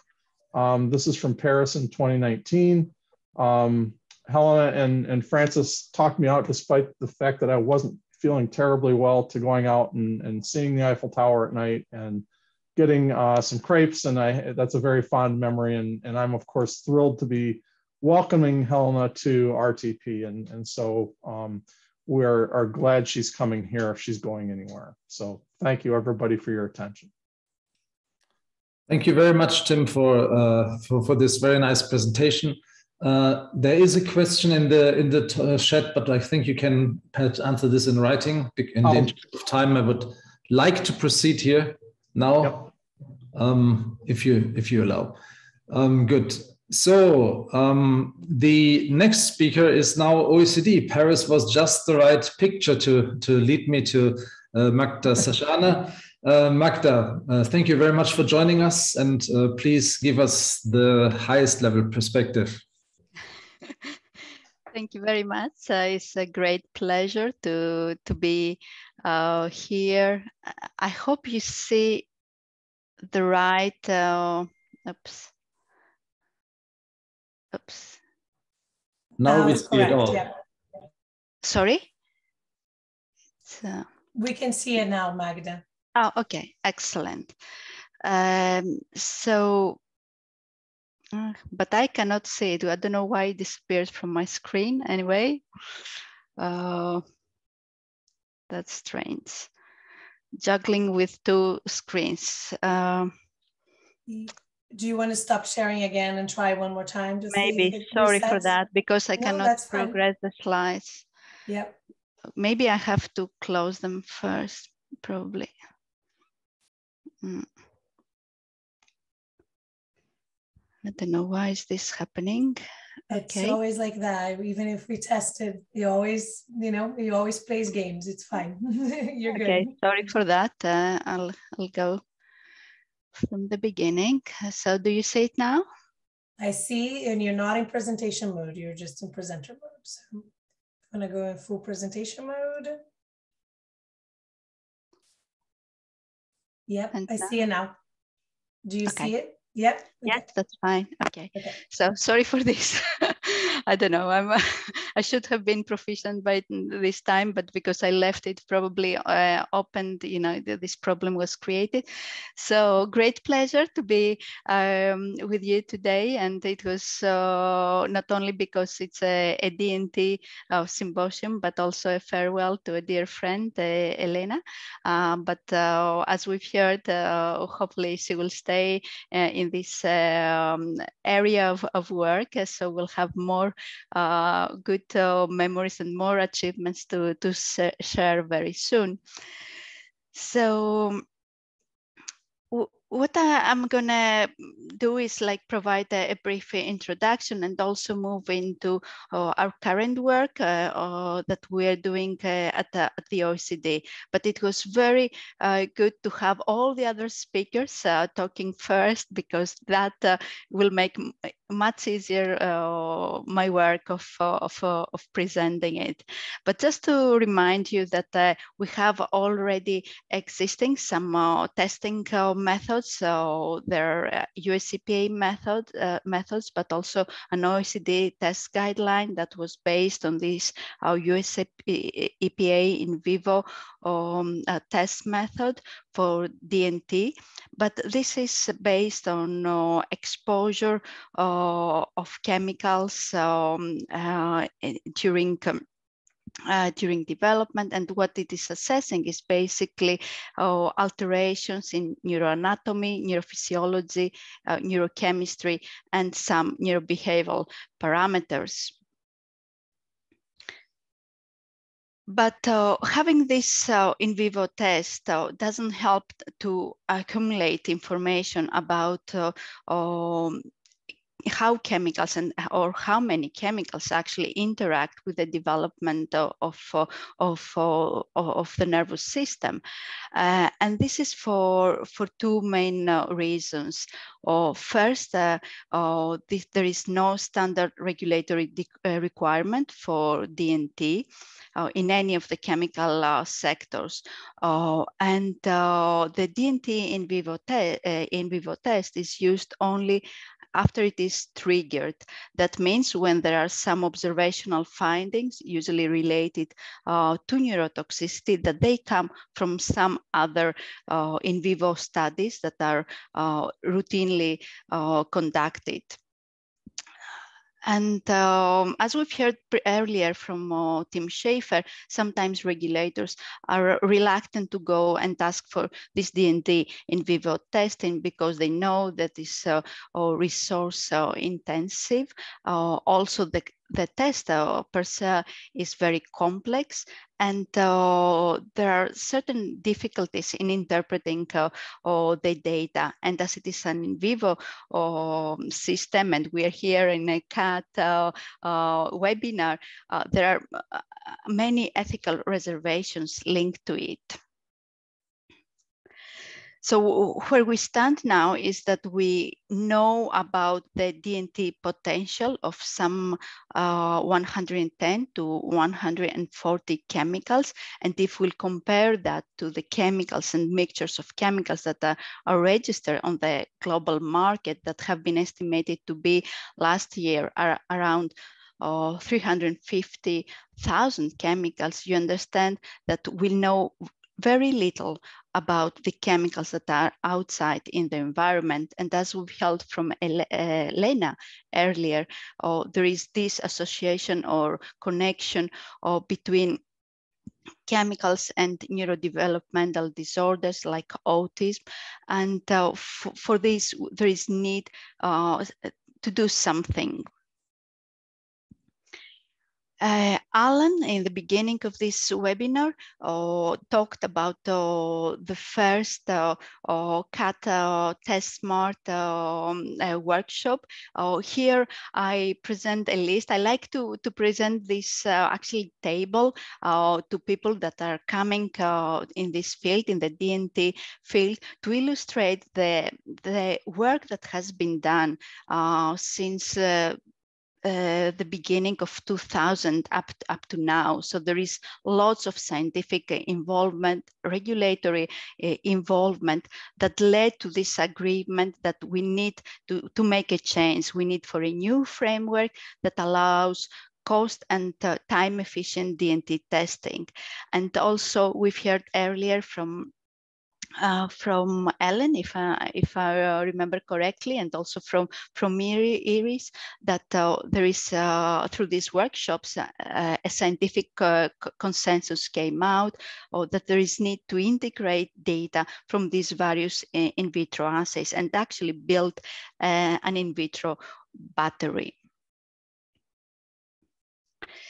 So we came very late, as uh, uh, as Thomas uh, said, EFSA and OECD came late, but I think we're moving oh, the bar slowly and and high enough to to move into something that regulators can use. So the vision, as I've said, was to assemble these um, assays and build an in vitro or battery test just a number, uh, the number of chemicals we've heard uh, from um, from uh, the lab of uh, Ellen Marcellais, but also um, Tim Schaefer, this uh, testing was conducted. And uh, our mission basically was to develop uh, uh, a guidance, something that regulators and also the registrants, the industry can use. And we do that by engaging all, all these members, researchers, regulators,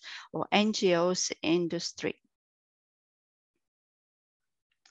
And something important in this work that I would like to highlight is not only oh, this in vitro battery that we have that is uh, central in the project. Uh, the other two things, the other uh, two pillars, I would say, of this project are the adverse outcome pathway concept. And uh, we've heard uh, uh, from Iris, from uh, EFSA's presentation, how well they, they used that uh, to inform the another framework that we have in place at the OECD, this integration of approaches to testing and assessment, this uh, IATA framework. And we do that with the main uh, goal uh, to incorporate mechanistic knowledge um, and uh, provide regular uh, regulatory relevant examples through case studies.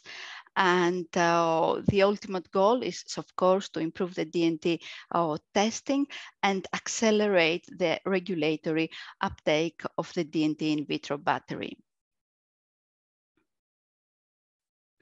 So this is a slide that also uh, Ellen uh, shared. This is from the draft uh, guidance uh, document where you can see all the assays that we have currently in the battery uh, that they are listed uh, according to the neurodevelopmental processes. You can see which ones are, um, are human based and which are animal based. And furthermore, you can identify where we have gaps, where more assays need to be developed. And that's very nicely explained by Ellen. We expect that this guidance document is a, a living document. And uh, as new methods are coming available, we'll integrate them in this battery. Uh, this is also a nice figure from um, from uh, from the draft guidance document, uh, where you can see uh, that um, uh, these in, in vitro assays, of course, they address some key neurodevelopmental processes, but where these new new um, new um, these uh, key neurodevelopmental processes are placed in a NEOP uh, schema is is here in the central uh, area under the, the, cellular responses. And indeed, this is um, an area that uh, we are lacking a bit. Uh, we are we don't know much. We don't have enough AOPs, but there is lots of work in progress. And what we expect is uh, to see in the future is as more chemicals are tested through the battery, we we we uh, we build uh, knowledge. We build knowledge that then can be embedded in, an, in the AOP framework. Uh, and this is the IATA approach, and uh, Iris did very nice work uh, going through that.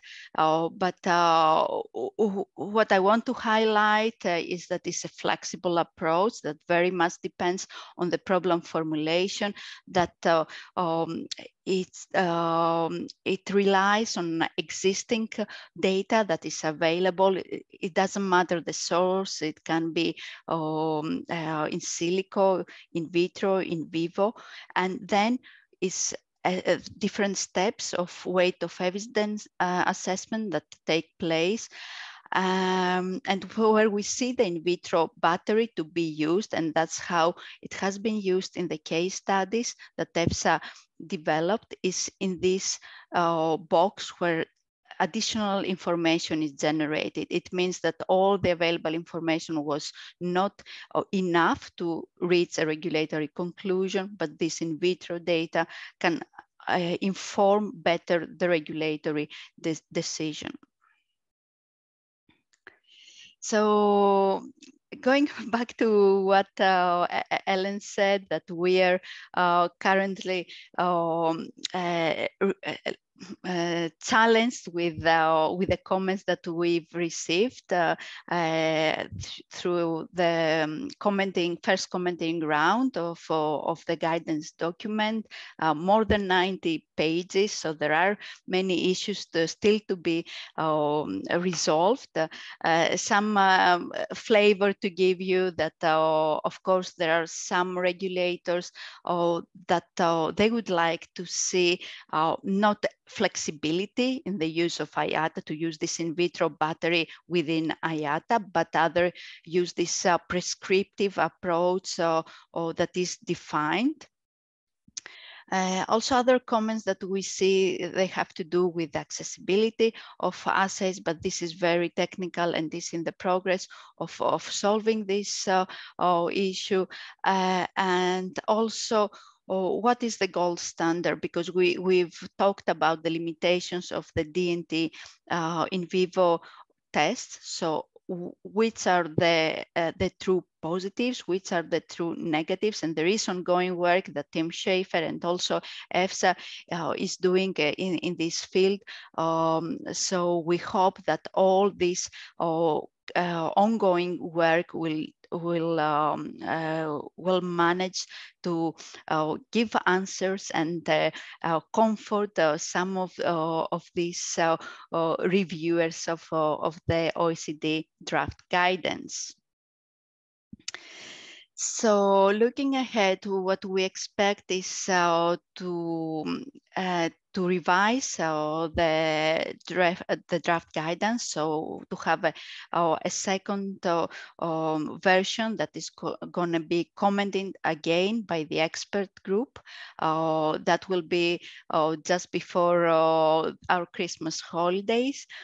then that will give enough time to the group to uh, to see the, the second version and come uh, hopefully in person uh, in March uh, 2022 uh, in Paris, uh, where back to back we'll have this OECD expert group and also the meeting that Iris mentioned about engagement with the EU regulators.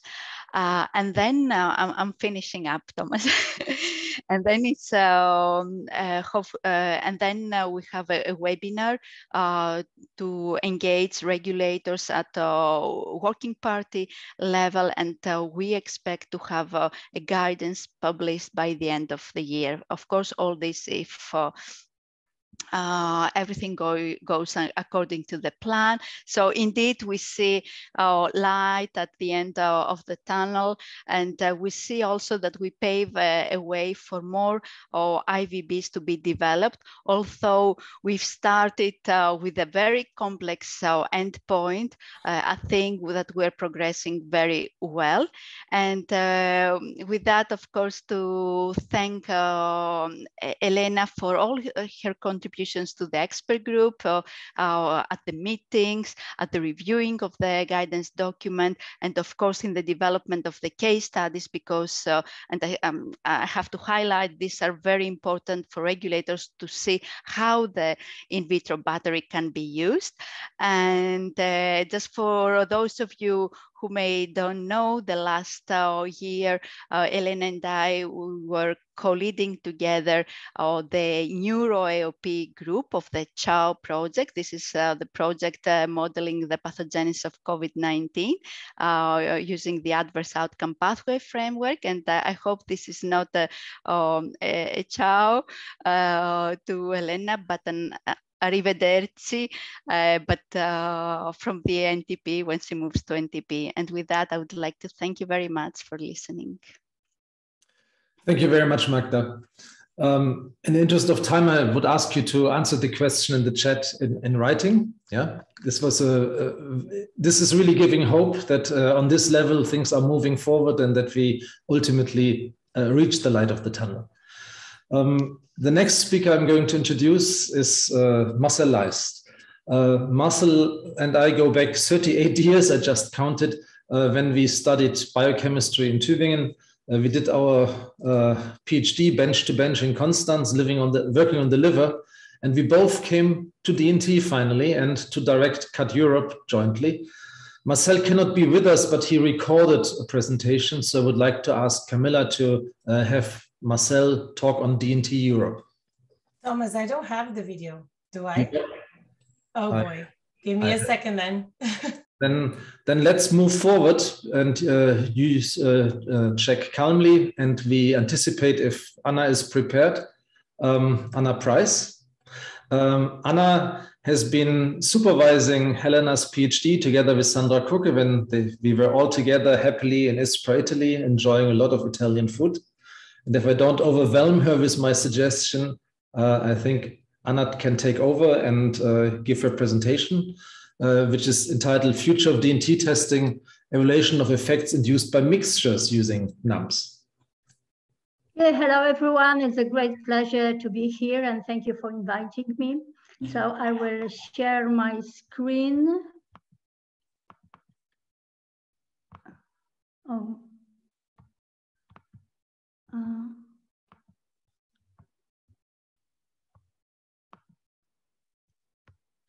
can you see it? Maybe it takes one or two seconds. No, not yet. I think it's coming. Camila already told me that my internet. Yeah, your internet sounds good now. It doesn't seem to have a, uh, delay. Okay, so can you see my first slide? No. You might have to stop sharing and try to share again. Okay, so and show.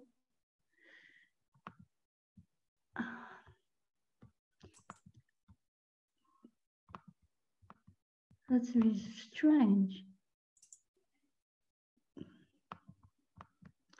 So you can't see it? No. Uh, I don't know what's the problem, to be honest. Um, do you see a green button, share screen on the yeah, bottom? Yeah, sure. I am. I'm just clicking on it. And, and, then you can choose a window that might have your presentation on it. Yeah, I choose. And the then you can clean, click the share, the blue share button again. There you go. Now it's started to share. Okay. So I will put the full screen. Yep.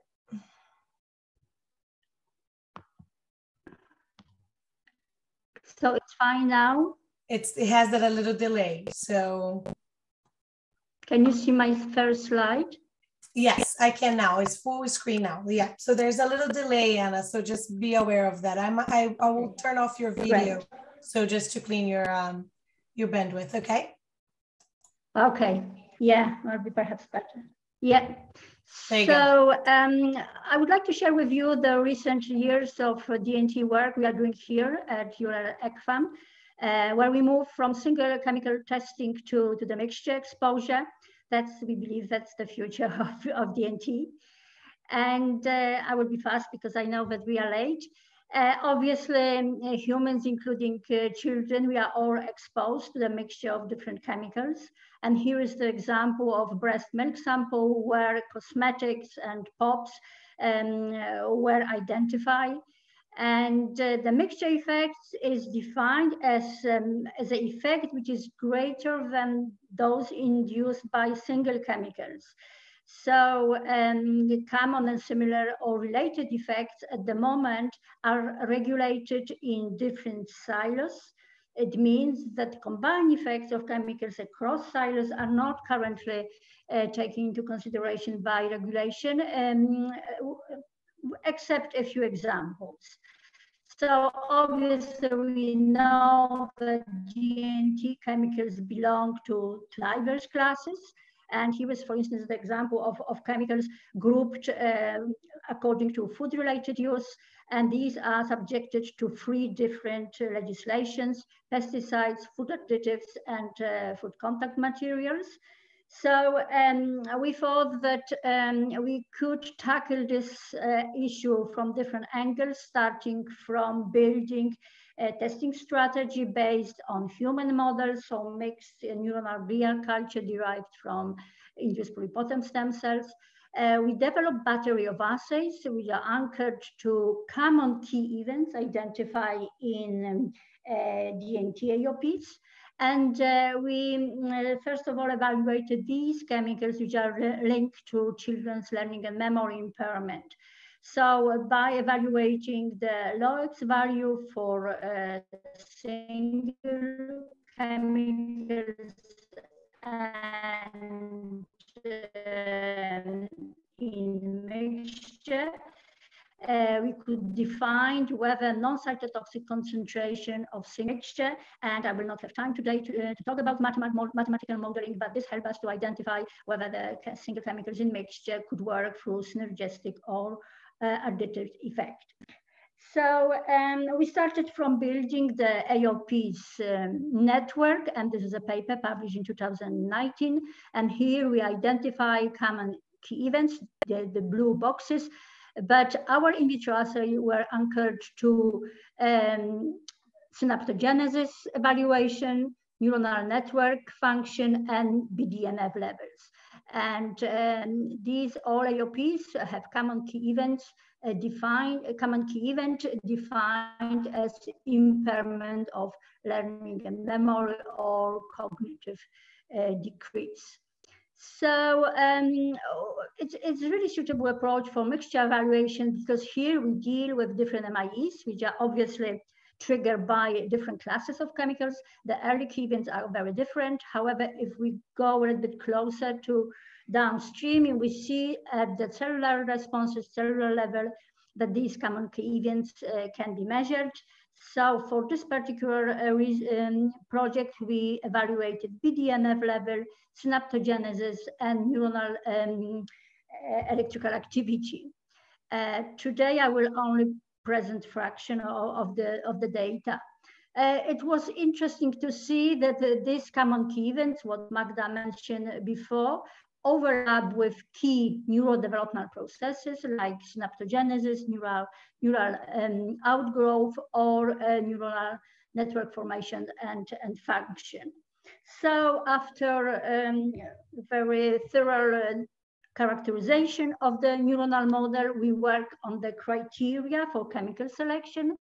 And here um, we set up this uh, set of the criteria uh, that the compound compounds have to cause a cognitive impairment, have to work through identify common events in the AOPs, should represent different classes of chemicals, should be present in human samples. And this, um, which was these chemicals, where we could uh, find the concentration defined in the human samples like breast milk, cord blood, urine, and others.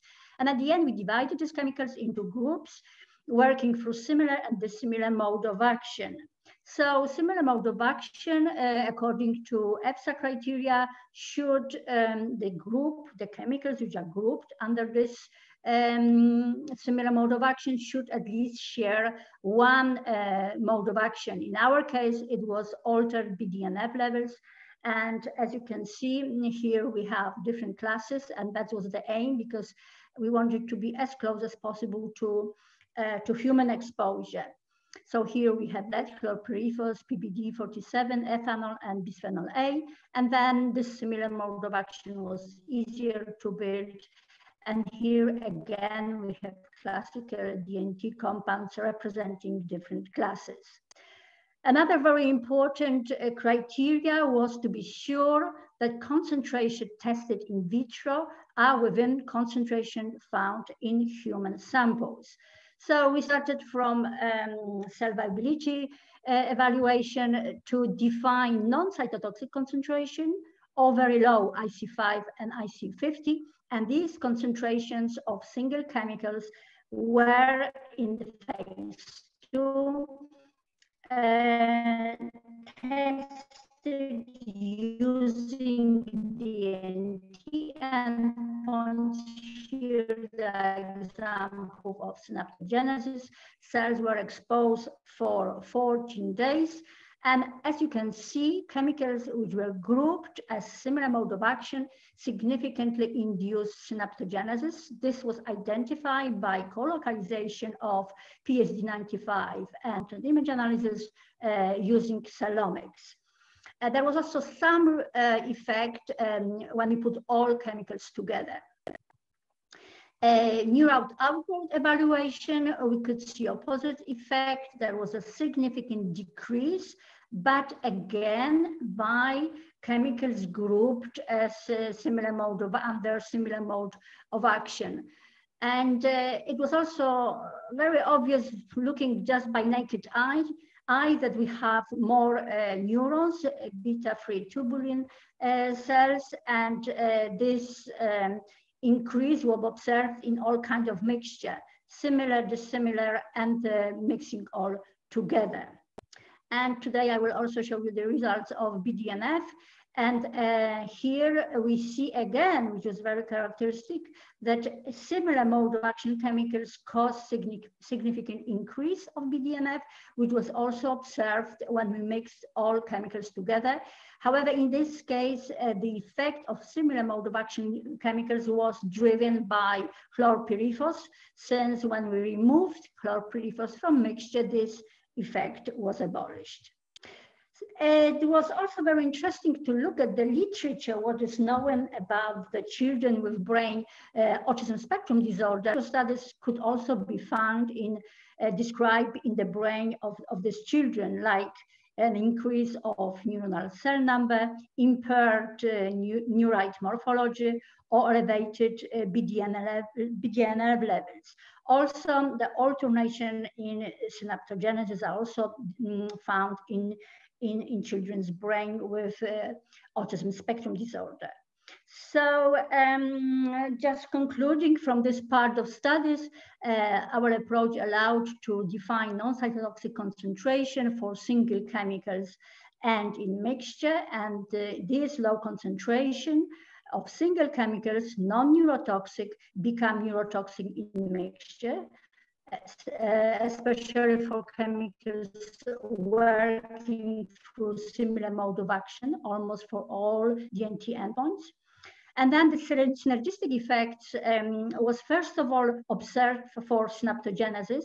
And this was uh, not only found by experimental part, but also through the modeling, uh, mathematical modeling. We recently published paper on it.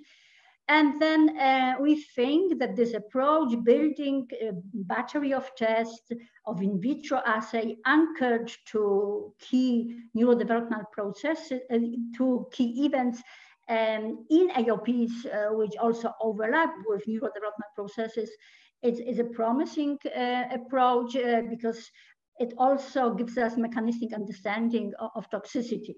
So uh, we think that the future of DNT belongs to the mm, mixture evaluation and we should move away from single chemicals and test cocktail of chemicals uh, of those which humans are exposed, obviously children, and in our environment and the concentrations if in the brain if such information does not exist at least we should take the value um, found in blood. So uh, here are the three papers recently published in um, referring to chemical mixtures uh, and the recent one on mathematical modeling. So please go for more details um, to this um, manuscripts papers published and now I would like to, to show a few slides, uh, which are moving to my uh, collaboration uh, with, with, with, Helena, not only as a scientist, but also as a friend. I can really say that time is, is flying fast. And I couldn't find the DNT, the pictures from DNT meeting, but I found something after the meeting. And I have to say that these meetings after meetings are sometimes even more important. And uh, I don't know if Alan is still there, but I remember a great time at his house, summer house we had. And there was a very nice coffee, coffee shop in his village. And uh, I'm sure you recognize all these guys. Uh, we have to say that they look more or less the same as today, not much different. Here is Helena giving the picture, uh, giving the talk during the DNT free meeting organized um, by us, JRC, in Varese in, uh, in Italy. And uh, yeah, Helena was doing PhD with us and she left uh, ECFAM in 2009, but she came back for a DNT-free meeting and she presented part of her PhD studies, this paper. These studies were already mentioned a few times. And then uh, we grabbed any occasion to, to meet. Of course, scientific meetings are the best occasions. So that was the uh, DNT4 organizing, uh, organized by, by CAT. Uh, and then I spent a bit of time with, with Helen in Baltimore and she invited me to Cheesecake Factory uh, in Baltimore. And I was absolutely shocked by the, by the size of, of cake.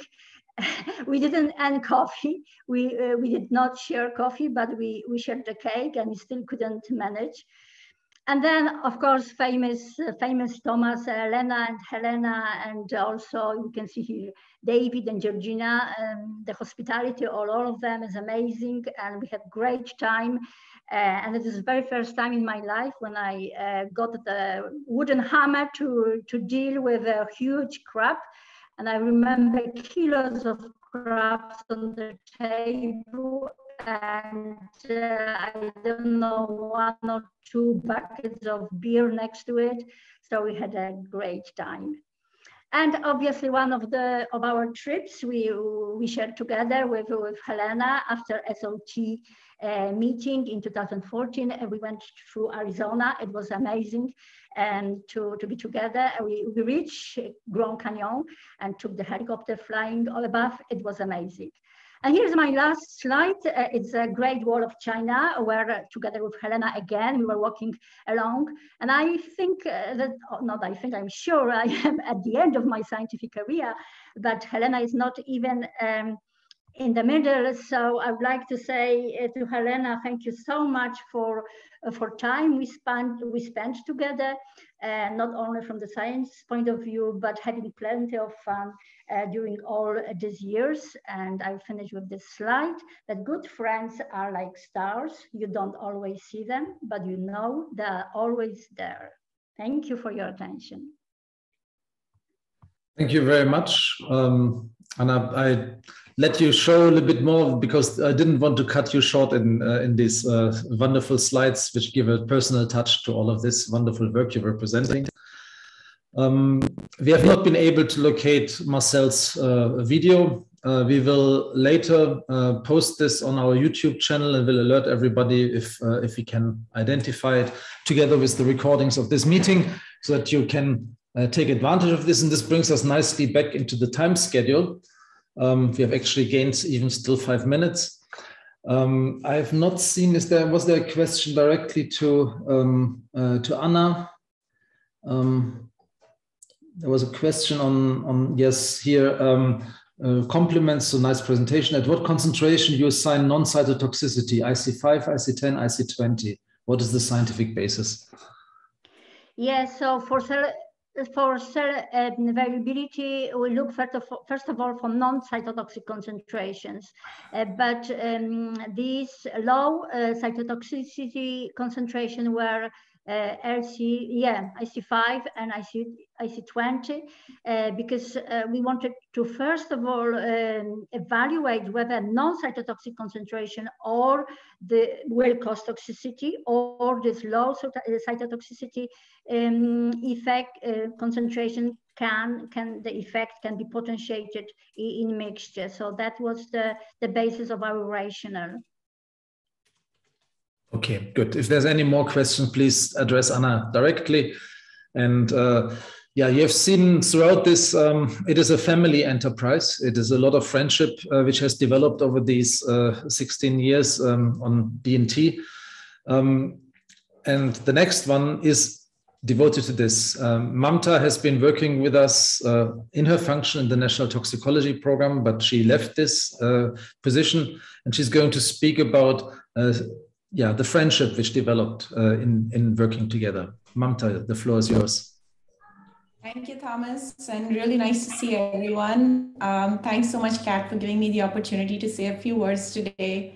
Um, it's been a fun morning filled with lots of wonderful DNT talks as well as great memories. And um, Thomas, yeah, absolutely, this does feel like family for sure.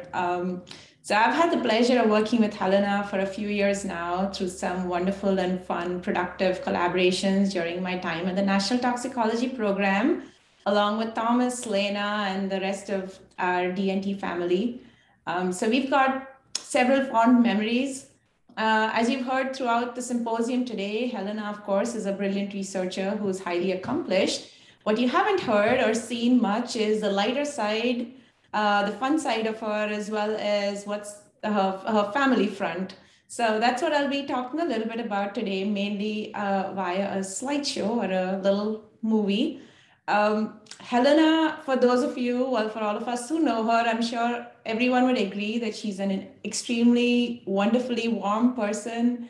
And she, she just has this instant likability. It's like as soon as you meet her, shortly after that, we're talking fun research, but also just having a great time.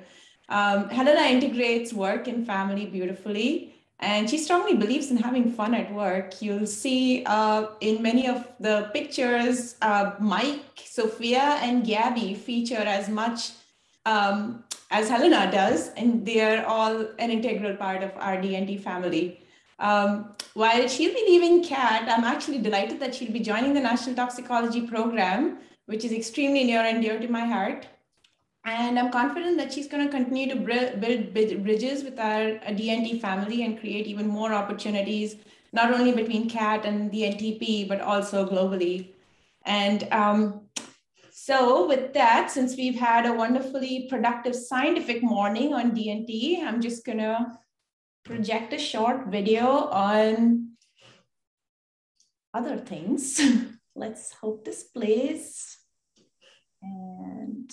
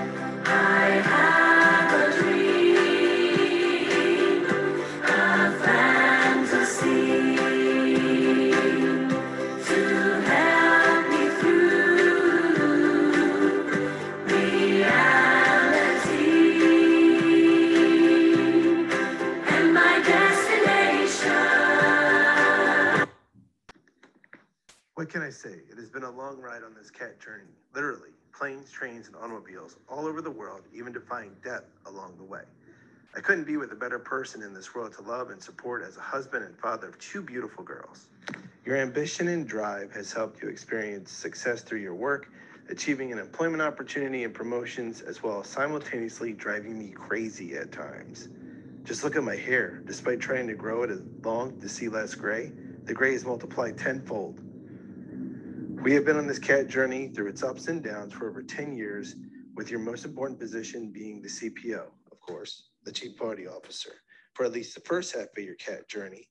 The annual cocktail parties, originally organized by you and Thomas, were a success every year and did not disappoint with endless conversations and scenic views of Baltimore providing the atmosphere. The second half of your journey was taking on the challenges and growing into your current position of deputy director. Also along the way were deadlines, papers, other publications, grant writing, grant reviews, budget meetings, board meetings, prep meetings for all those meetings, late nights, canceled plans, changed plans, tears and frustration, excitement, reflecting and success. And did I mention deadlines? Well, there's a new deadline at the end of this week and a new starting line ne- next week. I'll be here by your side, along with our two beautiful girls. We, We love you Sophia and Gabby. and me.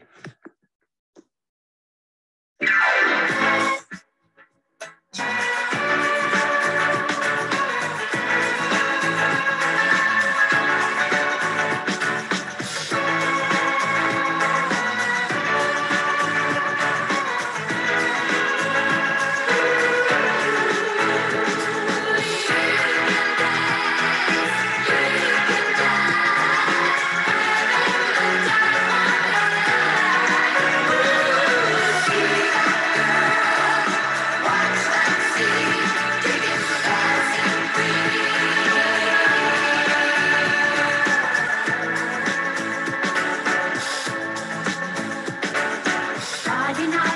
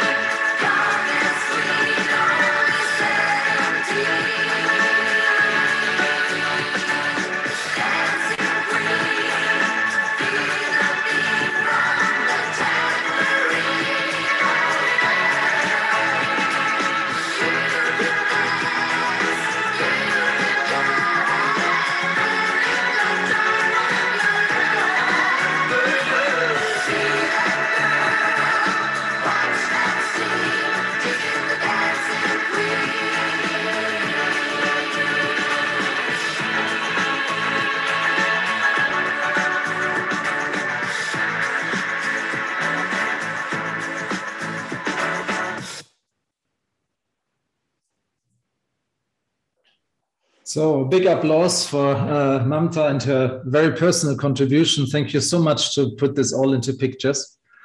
I'm sure there's no question to your presentation. so, thanks.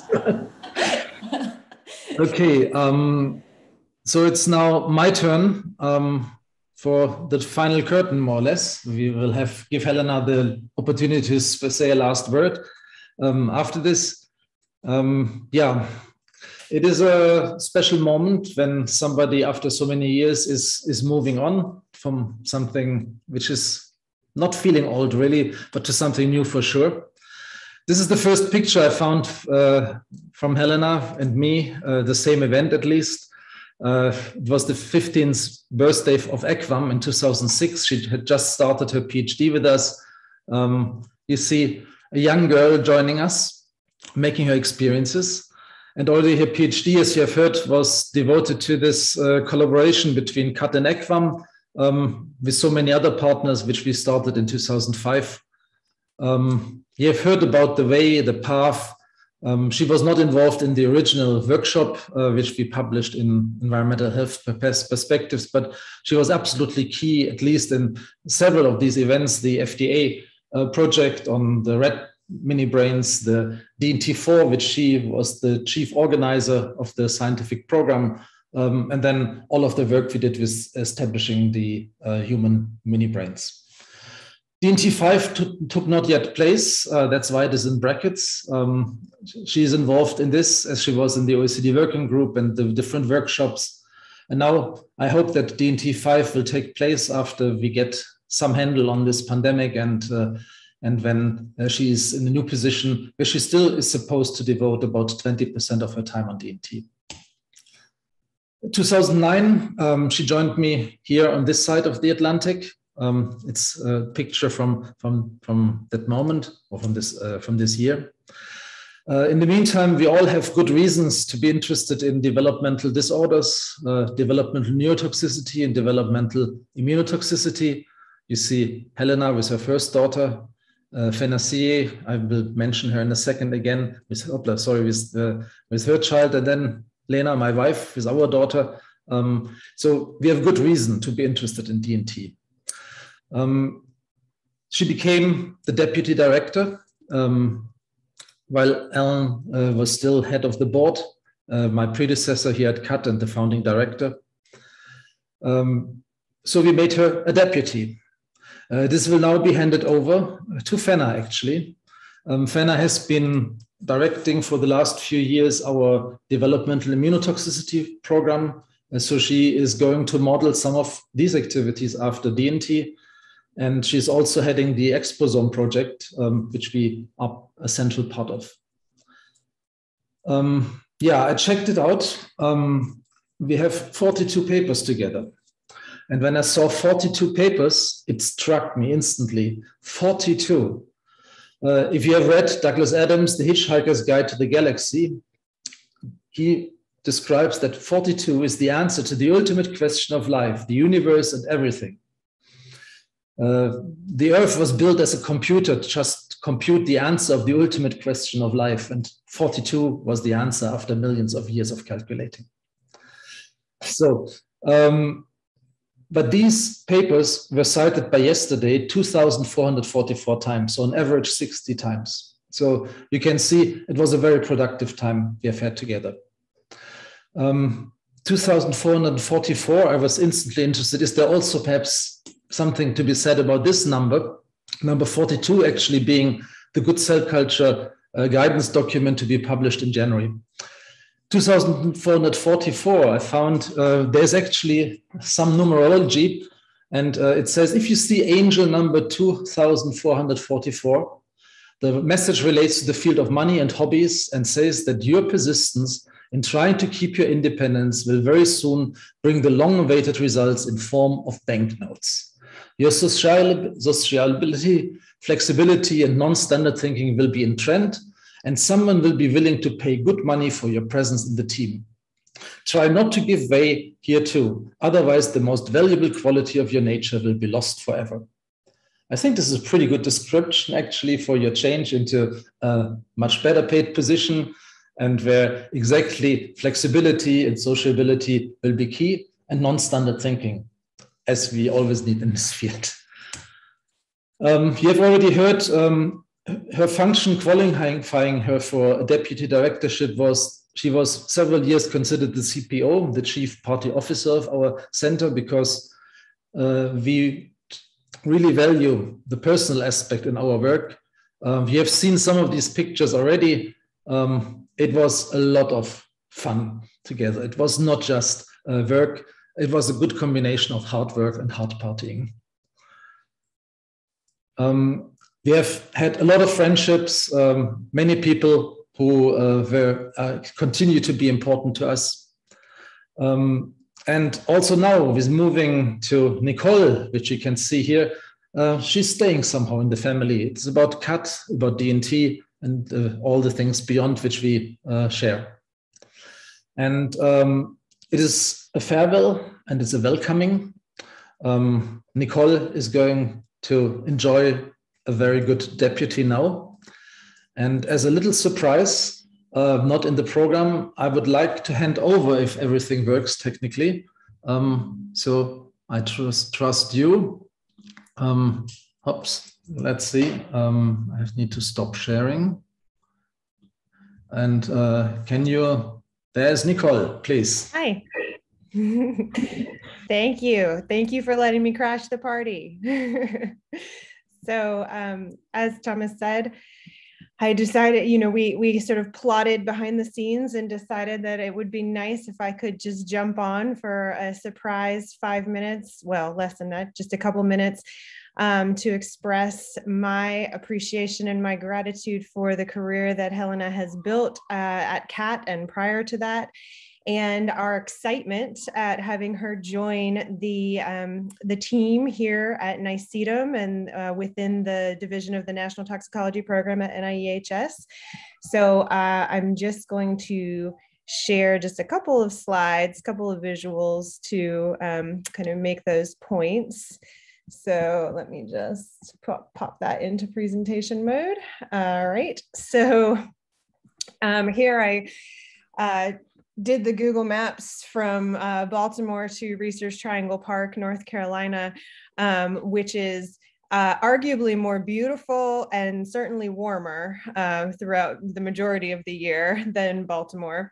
Um, and it's a, apparently about a five hour drive, but there's at least one car crash uh, at a minimum, generally several along that route. And so, but it's it's very doable in a day. So if anybody, you know, if anybody needs her to rush back to Baltimore, I'm sure that's that's always going to be possible. Um, but we're very, very excited to have her joining um, us south of the Mason Dixon line there. And so, what exactly does the future hold for NICEDM under our new acting deputy director, Hogberg? Um, so, you, you've seen some examples already so far of the just tremendous um, scientific excellence and outstanding work that she's done. And we're really excited to bring that into our team. Um, I think that uh, she and I have incredibly complementary skill sets. Uh, so, I, as those of you who know me, know that my work has been very focused in computational toxicology, computational modeling, artificial intelligence. And she brings an incredible wealth of knowledge and experience in in vitro systems, microphysiological systems. And I'm really excited to integrate all of those different aspects together into developing uh, more systems based models that can really start to, to continue to replace animals for some of these really critical endpoints. Um, many folks uh, probably realize that NICEDM has not uh, typically done much in alternatives and developmental neurotoxicity because we simply didn't have the expertise as part of our group. Um, the, the National Toxicology Program obviously has a, a really strong um, and fairly young program in developmental neurotox, including a lot of work in alternatives that MOMPTA started. And now Helena will pick up those reins and carry that forward um, both for the, the division of the National Toxicology Program and their DNT Health Effects Innovation Initiative. Um, so she's going to be leading the in vitro DNT work for the division of the National Toxicology Program, but also for NICEDM. So we're, we're very excited to be much more engaged in that space. Um, there are a number of ICVAM agencies like the EPA and the FDA that are very interested in developing out alternatives to DNT and so she's going to be our leader in that area as well. Um, and that also comes with it, of course, uh, just increased engagement for NICEDM with OECD and our international partners. Um, one new area that she already has ex- experience in, but that we're going to be focusing on a lot more over the coming years is a focus on population variability and susceptibility and how NAMs and alternatives to animal testing really offer very exciting potential to address these critical needs in terms of uh, looking across populations from both a genetic and an epigenetic heterogeneity standpoint and understanding how environmental exposures may have differential responses, particularly from an environmental justice standpoint, looking at underserved and potentially uh, susceptible and sensitive subpopulations. And so she's going to be leading uh, some of our efforts in that space. Um, we're actually just at the very early stages of planning a workshop um, for almost exactly a year from now, so late fall of next year, on a state of the science uh, for NAMs in population variability and susceptibility and how to model those. And she's going to be chairing that organizing committee. So um, rest assured that many of you will be contacted about participating in that workshop. Uh, she brings with her, as you've already seen today, an incredible network uh, within ac- academia, government, industry, both domestically and internationally. And so I'm just really excited to, to leverage that within uh, NICEDM space as well.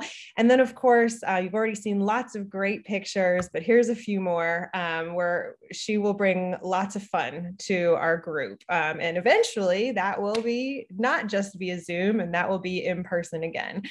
Um, so I'm I'm very very excited, and I I just can't wait to have her on board. And so um, from all of us at NICEATM, um, welcome to the team. Uh, here are their smiling faces, and we're just thrilled to have you joining us.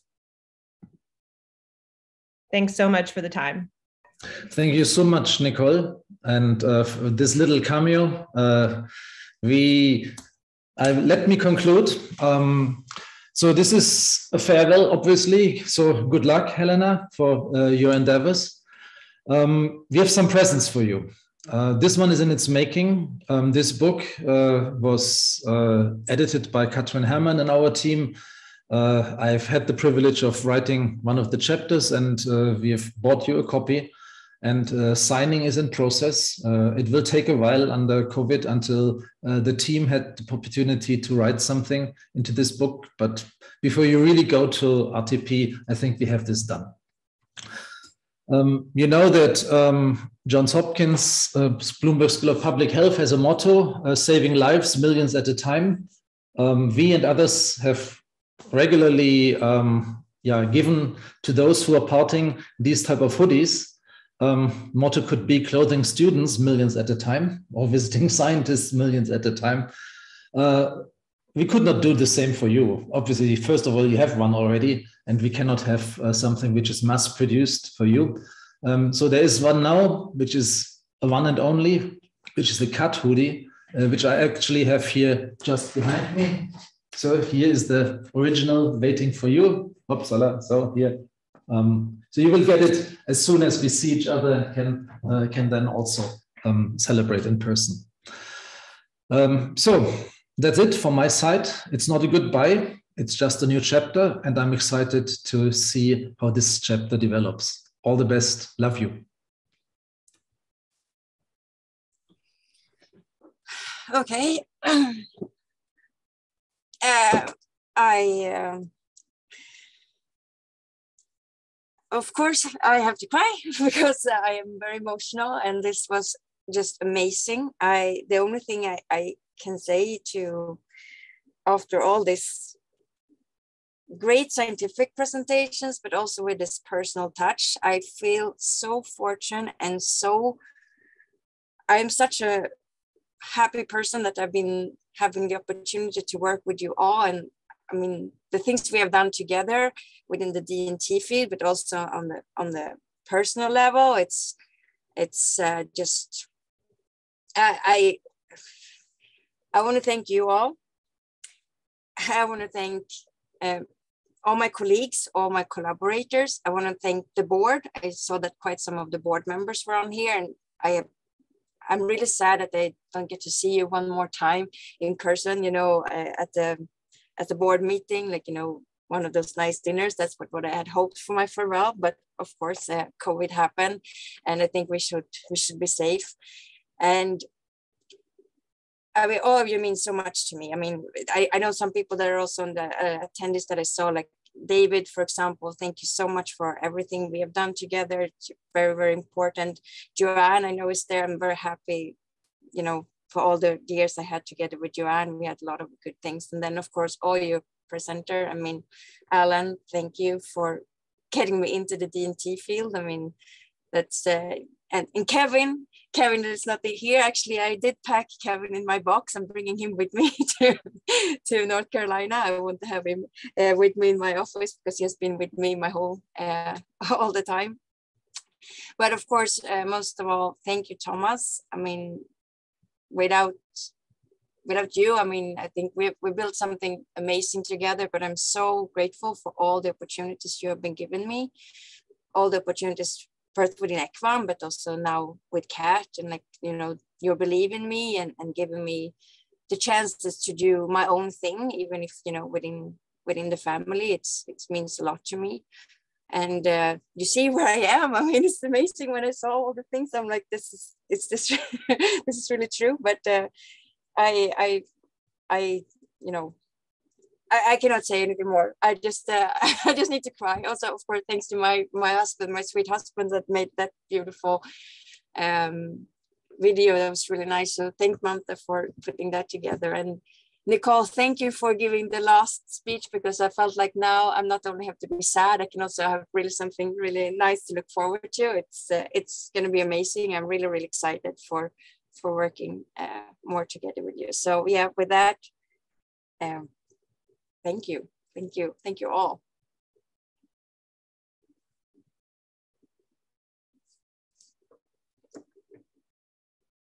Yay for Helena. This was great, guys. I was trying to bring up the team somehow, but not everyone is accepting my my starter video. But yeah, this is great. Thank you. I'm gonna stop the, the recording.